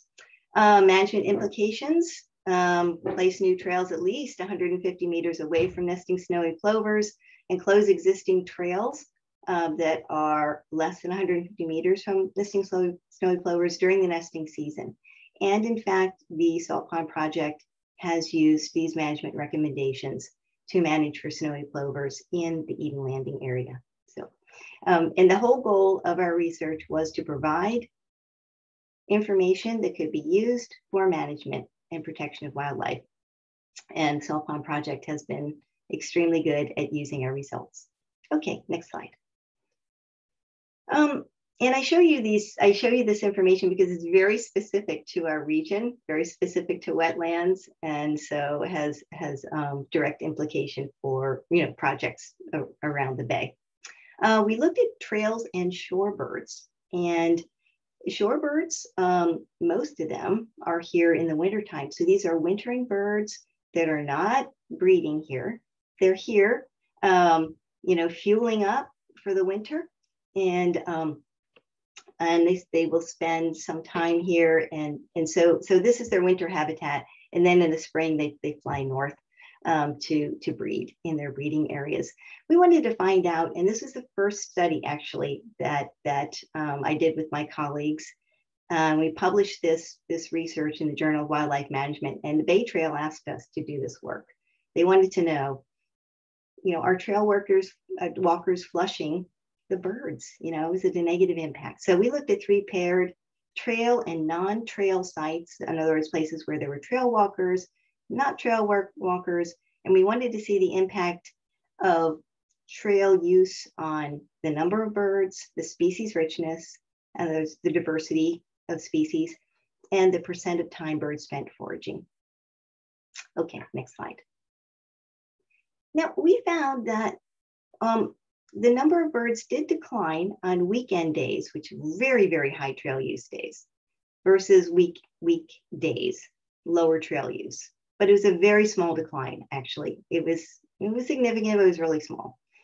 We did find that there was no no appreciable reduction in bird numbers or bird diversity or the proportion of birds foraging at trail versus non-trail sites. So we found these little shorebirds. We're talking about these little peeps, right? These little guys really didn't seem to care that much about trail walkers. And these were trail walkers within 30 to, you know, 50, yeah, some like 30 to 50 meters. Know, very close, very close to the birds.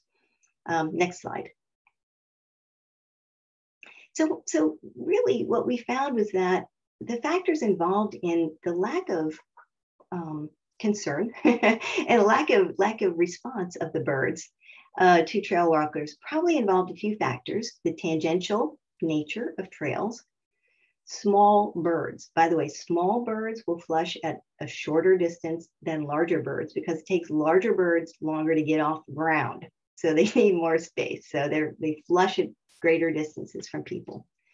It was non-urbanized and uh, sorry, non-motorized and in an urbanized area. So these trail use under these conditions seem to have little effect on the, the very proximate behavioral responses of birds. We don't know if there were physiological responses over time, but um, because we, there are a lot of unknowns um, still, um, we recommended that um, the, the Salt Pond Project plan for substantial no access areas so that there's plenty of habitat for these small shorebirds to access foraging areas without trail use.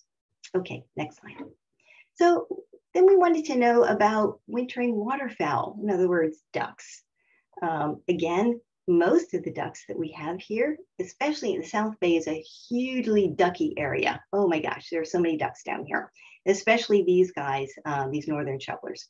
Um, so they come here in the wintertime um, approximately a quarter million of them. And we have a bit about a million um, shorebirds, by the way, that come to the Bay Area. About a quarter million ducks. A lot of them come to the South Bay. We want to know how they responded to trail use in the winter. So foraging, no, no, not ready yet. Did you go back? Thank you. Um, foraging um, in the wintertime. So we looked at the response of ducks um, at salt ponds in the South Bay area. And what we did was we counted ducks in the ponds in 40 meter bands. You can see going out from the levee. Here's the levee on the right. And we counted ducks in 40 meter bands going out from the levee. We counted the ducks by species before we took a walk. Then we took a walk, two trail walkers. So this was an experimental approach. Two trail walkers. And then we counted the ducks after we took a walk. And we had we did this at trail and non-trail sites. Okay, thank you. Next slide. Um, so at non-trail sites, in other words, places where the birds did not experience trail walkers, okay, we found that there was a very significant effect on the number of birds as far out as 150 meters. So there were fewer birds before versus after our walks, um, about all the way out to about 150 meters. So that's quite a long distance. Um, at trail sites where there was already activity, um, we found that there was a significant difference before versus after in the closest band, but not in the further away bands.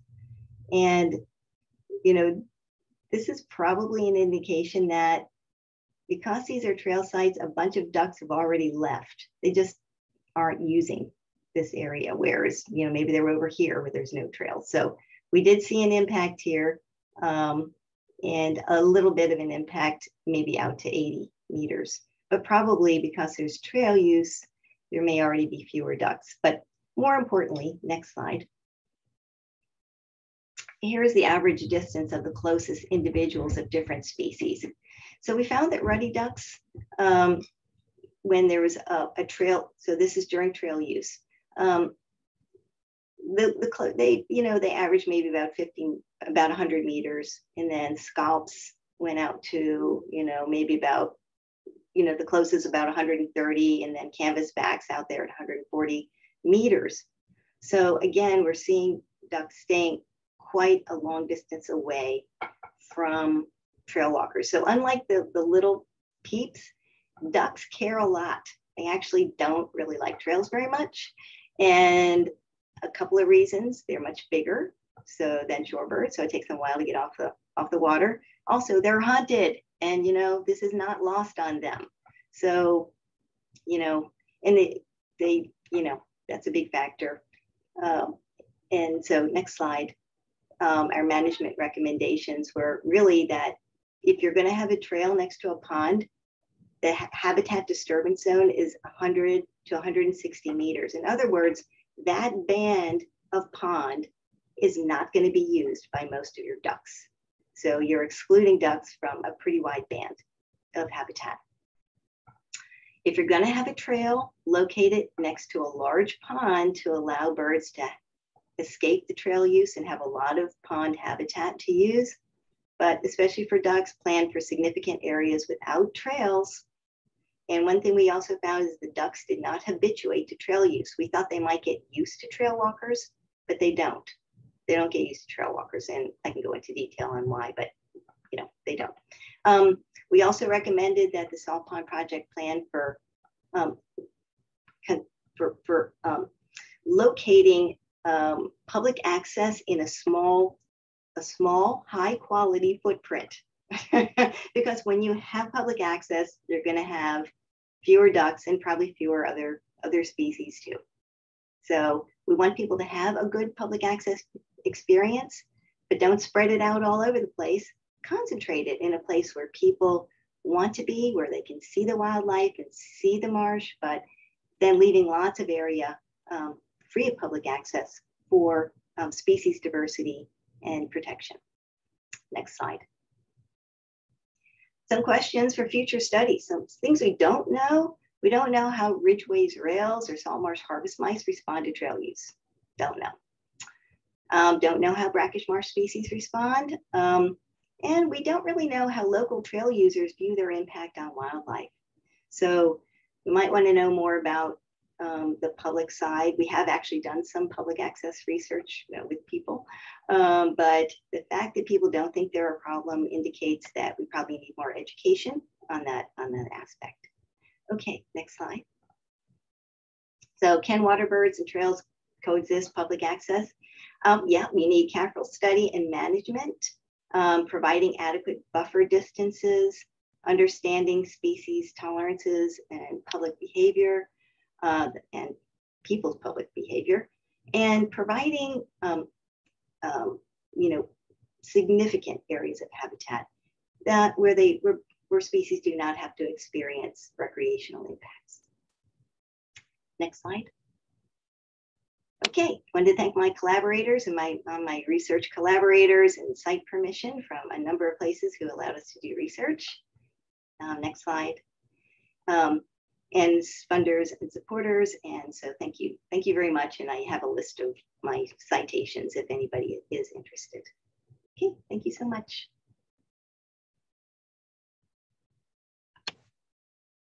Great, thank you. All right, we're really, really on the home stretch now and running out of um, time quickly. And I wanna make sure that we have sufficient time for our next presenter. Thank you so much, Dr. Trulio. Um, any questions, please submit them in the Q&A and Dr. Trulio will be able to answer them um, during the next session as well. All right, so at this point, I'd like to uh, present our, or introduce our final presenter for today, uh, Mr. Philip Higgins. Philip is the Wildlife Preservation Coordinator with the City of Mountain View and is based at Shoreline Park. Philip specializes in the conservation and research of burrow burrowing owls and has 21 years of experience focusing on this species and other protected species residing and nesting at Shoreline Park. Prior to working for the city of Mountain View, Philip was a lecturer at San Jose State University, De Anza College, and Mission College. Outside of his regular work, Philip is conducting research on the diet, seasonal movements, site fidelity, breeding success, relocation, and captive breeding of burrowing owls. Please welcome Philip. And Philip, Hello, good morning, every. Hi, can you put on your video as well, please? Okay. Okay, hello and good morning, everybody. Um, I'm going to focus my presentation on some of the impacts we've experienced at Shoreline Park, uh, just which is just adjacent to Palo Alto, over the past uh, 16 years that I've been working here. So some of the species I'm going to focus on, the photographs are on the um, screen there. On the left-hand corner are black skimmers. So black skimmers nest in sandy areas, sandy beaches or islands. Unfortunately, we don't have um, any prime sandy areas um, in our shoreline park, but they are nesting on the shoreline Sailing Lake Island.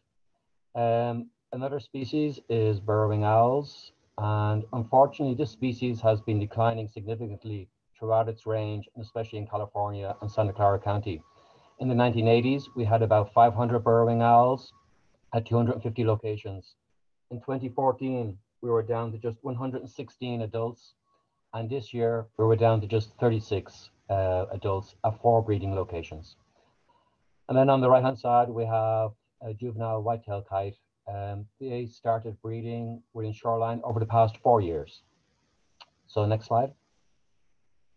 So we're actually very fortunate uh, to be living in California. It's supposedly one of the 34 biodiversity hotspots on the planet. A lot of this uh, biodiversity occurred because of geographical isolation. So of the 6,000 plant species, one third are endemic or found nowhere else. And of the 1,000 vertebrates, 65 are endemic. And you actually saw some photographs earlier on of uh, Ridgway's rails and salt marsh harvest mice, which are both endemic to San Francisco Bay. Next slide, please. Um, and Lynn mentioned earlier on that we can have up to 1 million water birds um, in the San Francisco Bay. So we're actually located on the Pacific Flyway.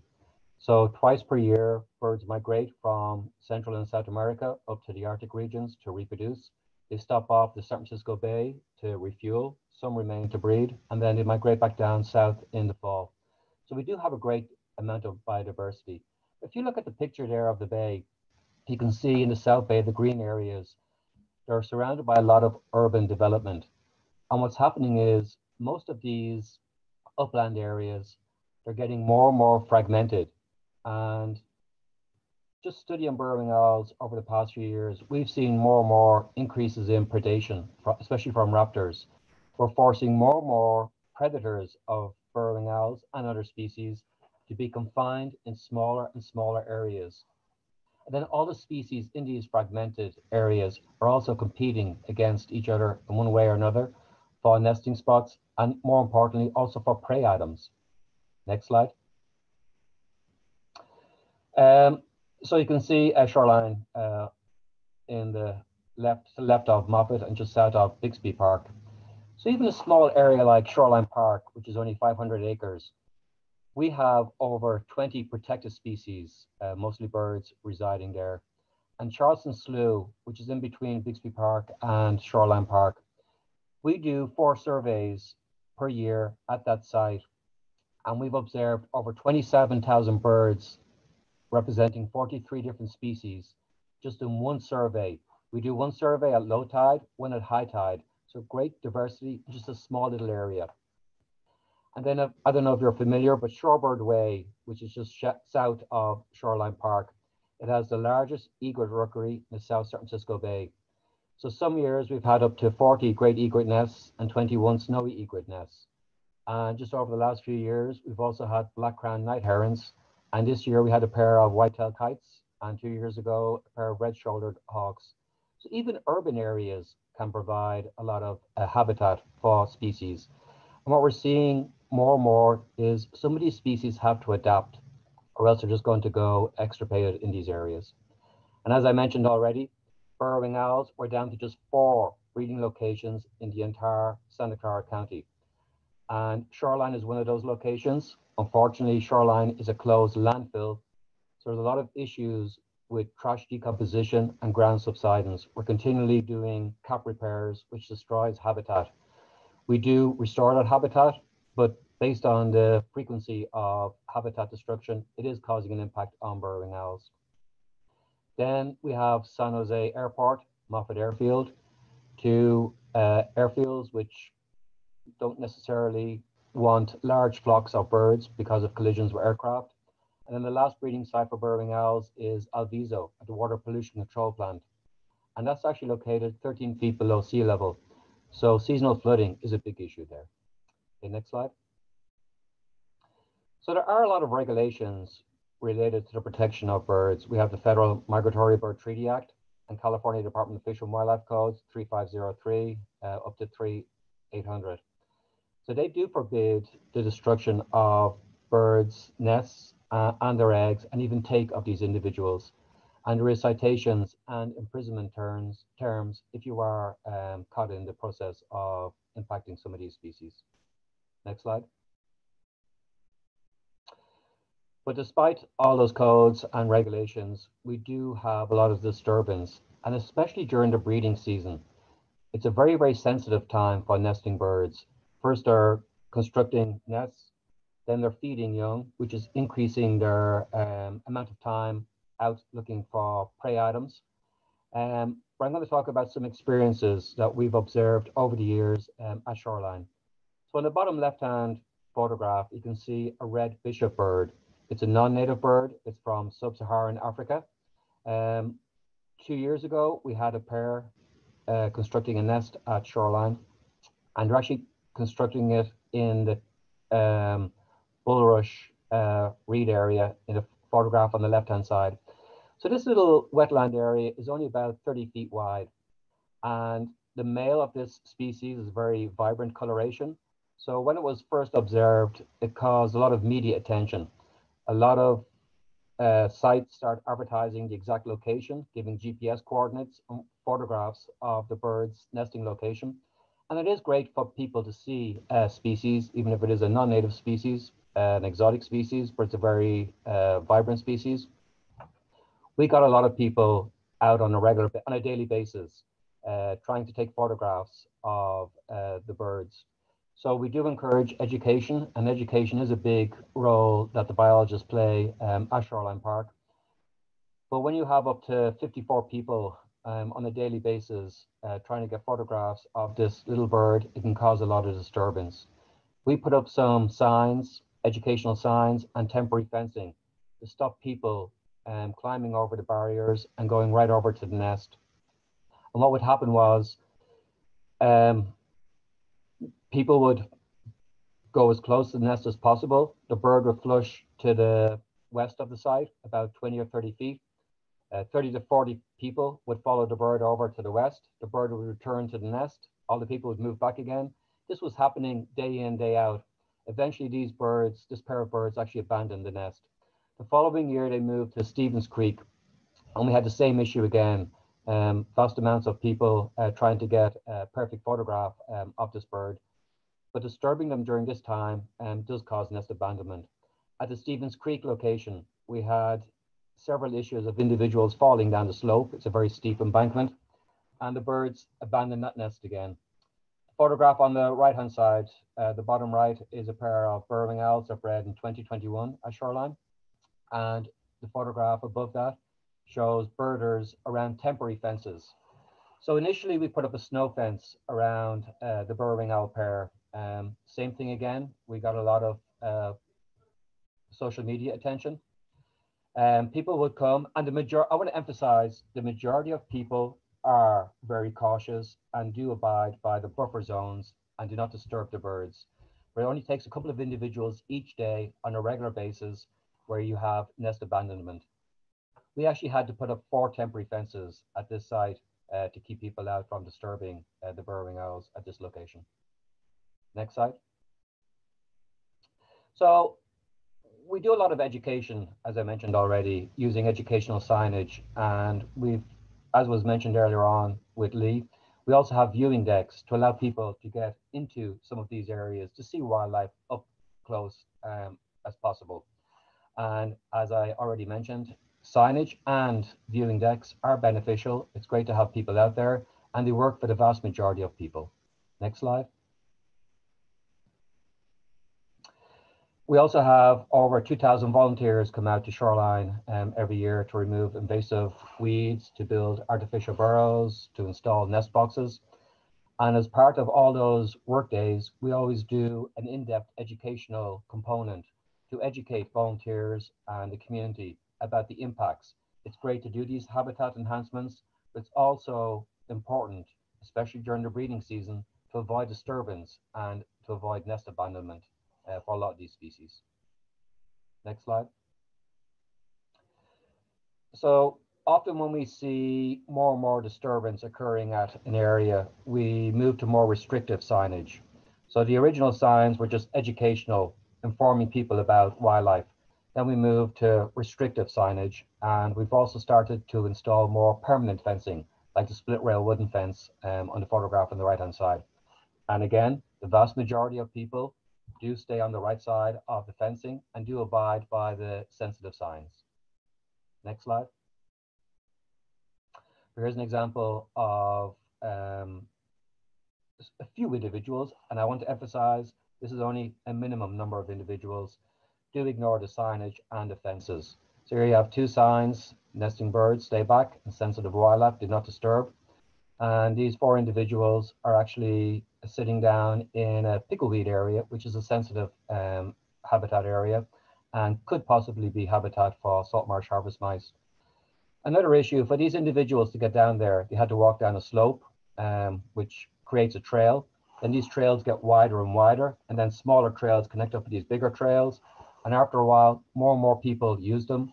When they get used to using the trails, they often consider them to be a regular uh, trail as opposed to an unofficial trail. Another issue we've had on one or two occasions is individuals have moved out into the mudflats on the bay. And um, speaking from personal experience by rescuing birds, it, you go straight down. You can go uh, up to your waist within a couple of seconds after stepping into those muddy areas. So it's not just a disturbance area, it's also a safety and liability issue with people going into these sensitive areas. Next slide, please. Um, here's a couple of fences that we put up for burrowing owls. Um, even with signs, we found that with temporary fencing, we have to go out uh, two or three times per week and repair the fences. We tried di tried different types of, of fences, um, just using stakes, caution tape, using snow fences, that's orange snow fencing on the right-hand side, um, using wire fences, and then moving over to the split rail wooden fences. Next slide. So one thing we've learned is um, using fencing with native plants is a great way to deter people, especially if the plants are planted in dense uh, volumes. So the photograph on the right-hand side, it has California native rose and toyon behind the split rail wooden fence. Initially, we only had the wooden fence. Some individuals, and not all, were climbing over the fence. But when we put in the dense planting of plants, that deterred most people um, getting into the area. Um, also, these hedgerows provide a great great amount of habitat and also nesting species for other, other individuals. Another liability issue is people going onto the golf course. So we've tried to put up signs saying no public access. Um, I've seen what happens to individuals if you do get hit by a golf ball. And I'm always amazed at the amount of people who bring kids onto the cart paths or cycle or even skateboard on the cart paths around the golf course. I can understand why they're doing it. You have a lovely landscaped area, you have a flat uh, cart path, but it is very, very dangerous. Next slide. So in the end, for the burrowing owls, we had to move to a six foot tall chain link fence to stop disturbance. Remember, we're only down to four individual breeding sites. Um, a shoreline for the past five to six years, we've only had two to three burrowing owl, owls during the breeding season. So even the loss or disturbance in reproduction of one individual can, can significantly impact our population. So we started off with signage, educational signage. It worked for most people. We moved to temporary fencing. Then we moved to split rail wooden fences. We tried native plants. The only way we could stop the disturbance on a regular basis was to put in the um, six foot tall chain link fence. Next slide. So Lynn also mentioned um, boating and its impacts on uh, nesting birds. So here's the shoreline Sailing Lake Island. So this is, we don't have many islands in the South San Francisco Bay Area. We've actually lost one of our islands in Charleston Slough and another island has been completely eroded on um, Pond A1. So this island here inside the Shoreline Sailing Lake is one of the biggest islands we have in, in the area. And it's a very important nesting area for black skimmers, Forster's terns, American avocets, black-necked stilts, Canada geese, and mallards. In the summertime, we have a lot of boaters using the Shoreline Sailing Lake. And we had a lot of disturbance um, from boaters. They weren't intentionally going onto the island. I think with the winds was blowing them over and they often got off, got onto the island. And once they step onto that island or even within um, a certain distance of the island, most of the birds are flushing on the island. So black skimmers are actually a protected species. They're listed as a state species of special concern. In 2013, they started breeding on the island, but they weren't successful. Then in 2014, 2015, we started doing a lot of habitat enhancement on the island. Then we put up buoys around the island and educational signage to discourage boaters from first approaching the island, then from stepping onto the island. Unfortunately, the buoys didn't work. Boaters would, some boaters would go in and out of the buoys and still go onto the island. So this year, 2021, the area in red, we closed off the entire area to boating, including the channel between um, the golf course and Sailing Lake Island. We had the best uh, breeding success um, in 21 years of monitoring that island. Uh, black skimmers, we had 119 adults, up from two over the past five years, and we had 41 chicks. Forster's Terns, 145 adults, 27 chicks. Prior to 2021, we never had one um, surviving chick fledge. So the issue when people go onto the island and flush the birds off the island, the eggs and the chicks are actually exposed to predators and also from the heat of the sun. So we done a, a, short study, small study on the island, and we found that the island was being disturbed 12 times per day. And the birds were uh, being flushed off for a total of 30, 39 minutes per day. So eggs and even chicks can die from heat exposure during that time period. So just removing the disturbance caused a huge increase in breeding success. Next slide. So just to sum up, um, human disturbance can cause nest abandonment. We've seen a lot of examples um, of it at shoreline. Um, it is great to have people out of shoreline and to see wildlife.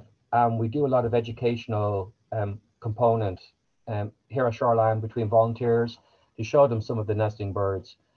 Some bird species can tolerate a high level of disturbance, but not when it's on a regular time frame, and especially during the breeding season when it's especially uh, sensitive for some of these species. Another example, the white-tailed kites.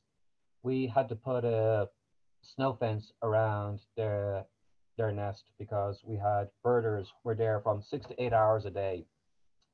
And one individual was there for who told us he was there for four hours and he said the bird was sitting on the nest the entire four hours and it was a waste of his time. So he picked up a rock and threw it at the tree to flush the bird off the nest just to get one photograph. Um, one individual is not a big ordeal, but when it's multiple individuals over a long period of time, it can cause nest abandonment. And we have observed that on several occasions at Shoreline. So we usually start off with educational signage then low impact fencing, and then for, at least for the burrowing owls, we had to go to a six foot tall a chain link fence just to disturb uh, the disturbance for these nesting birds. Okay, that's my presentation.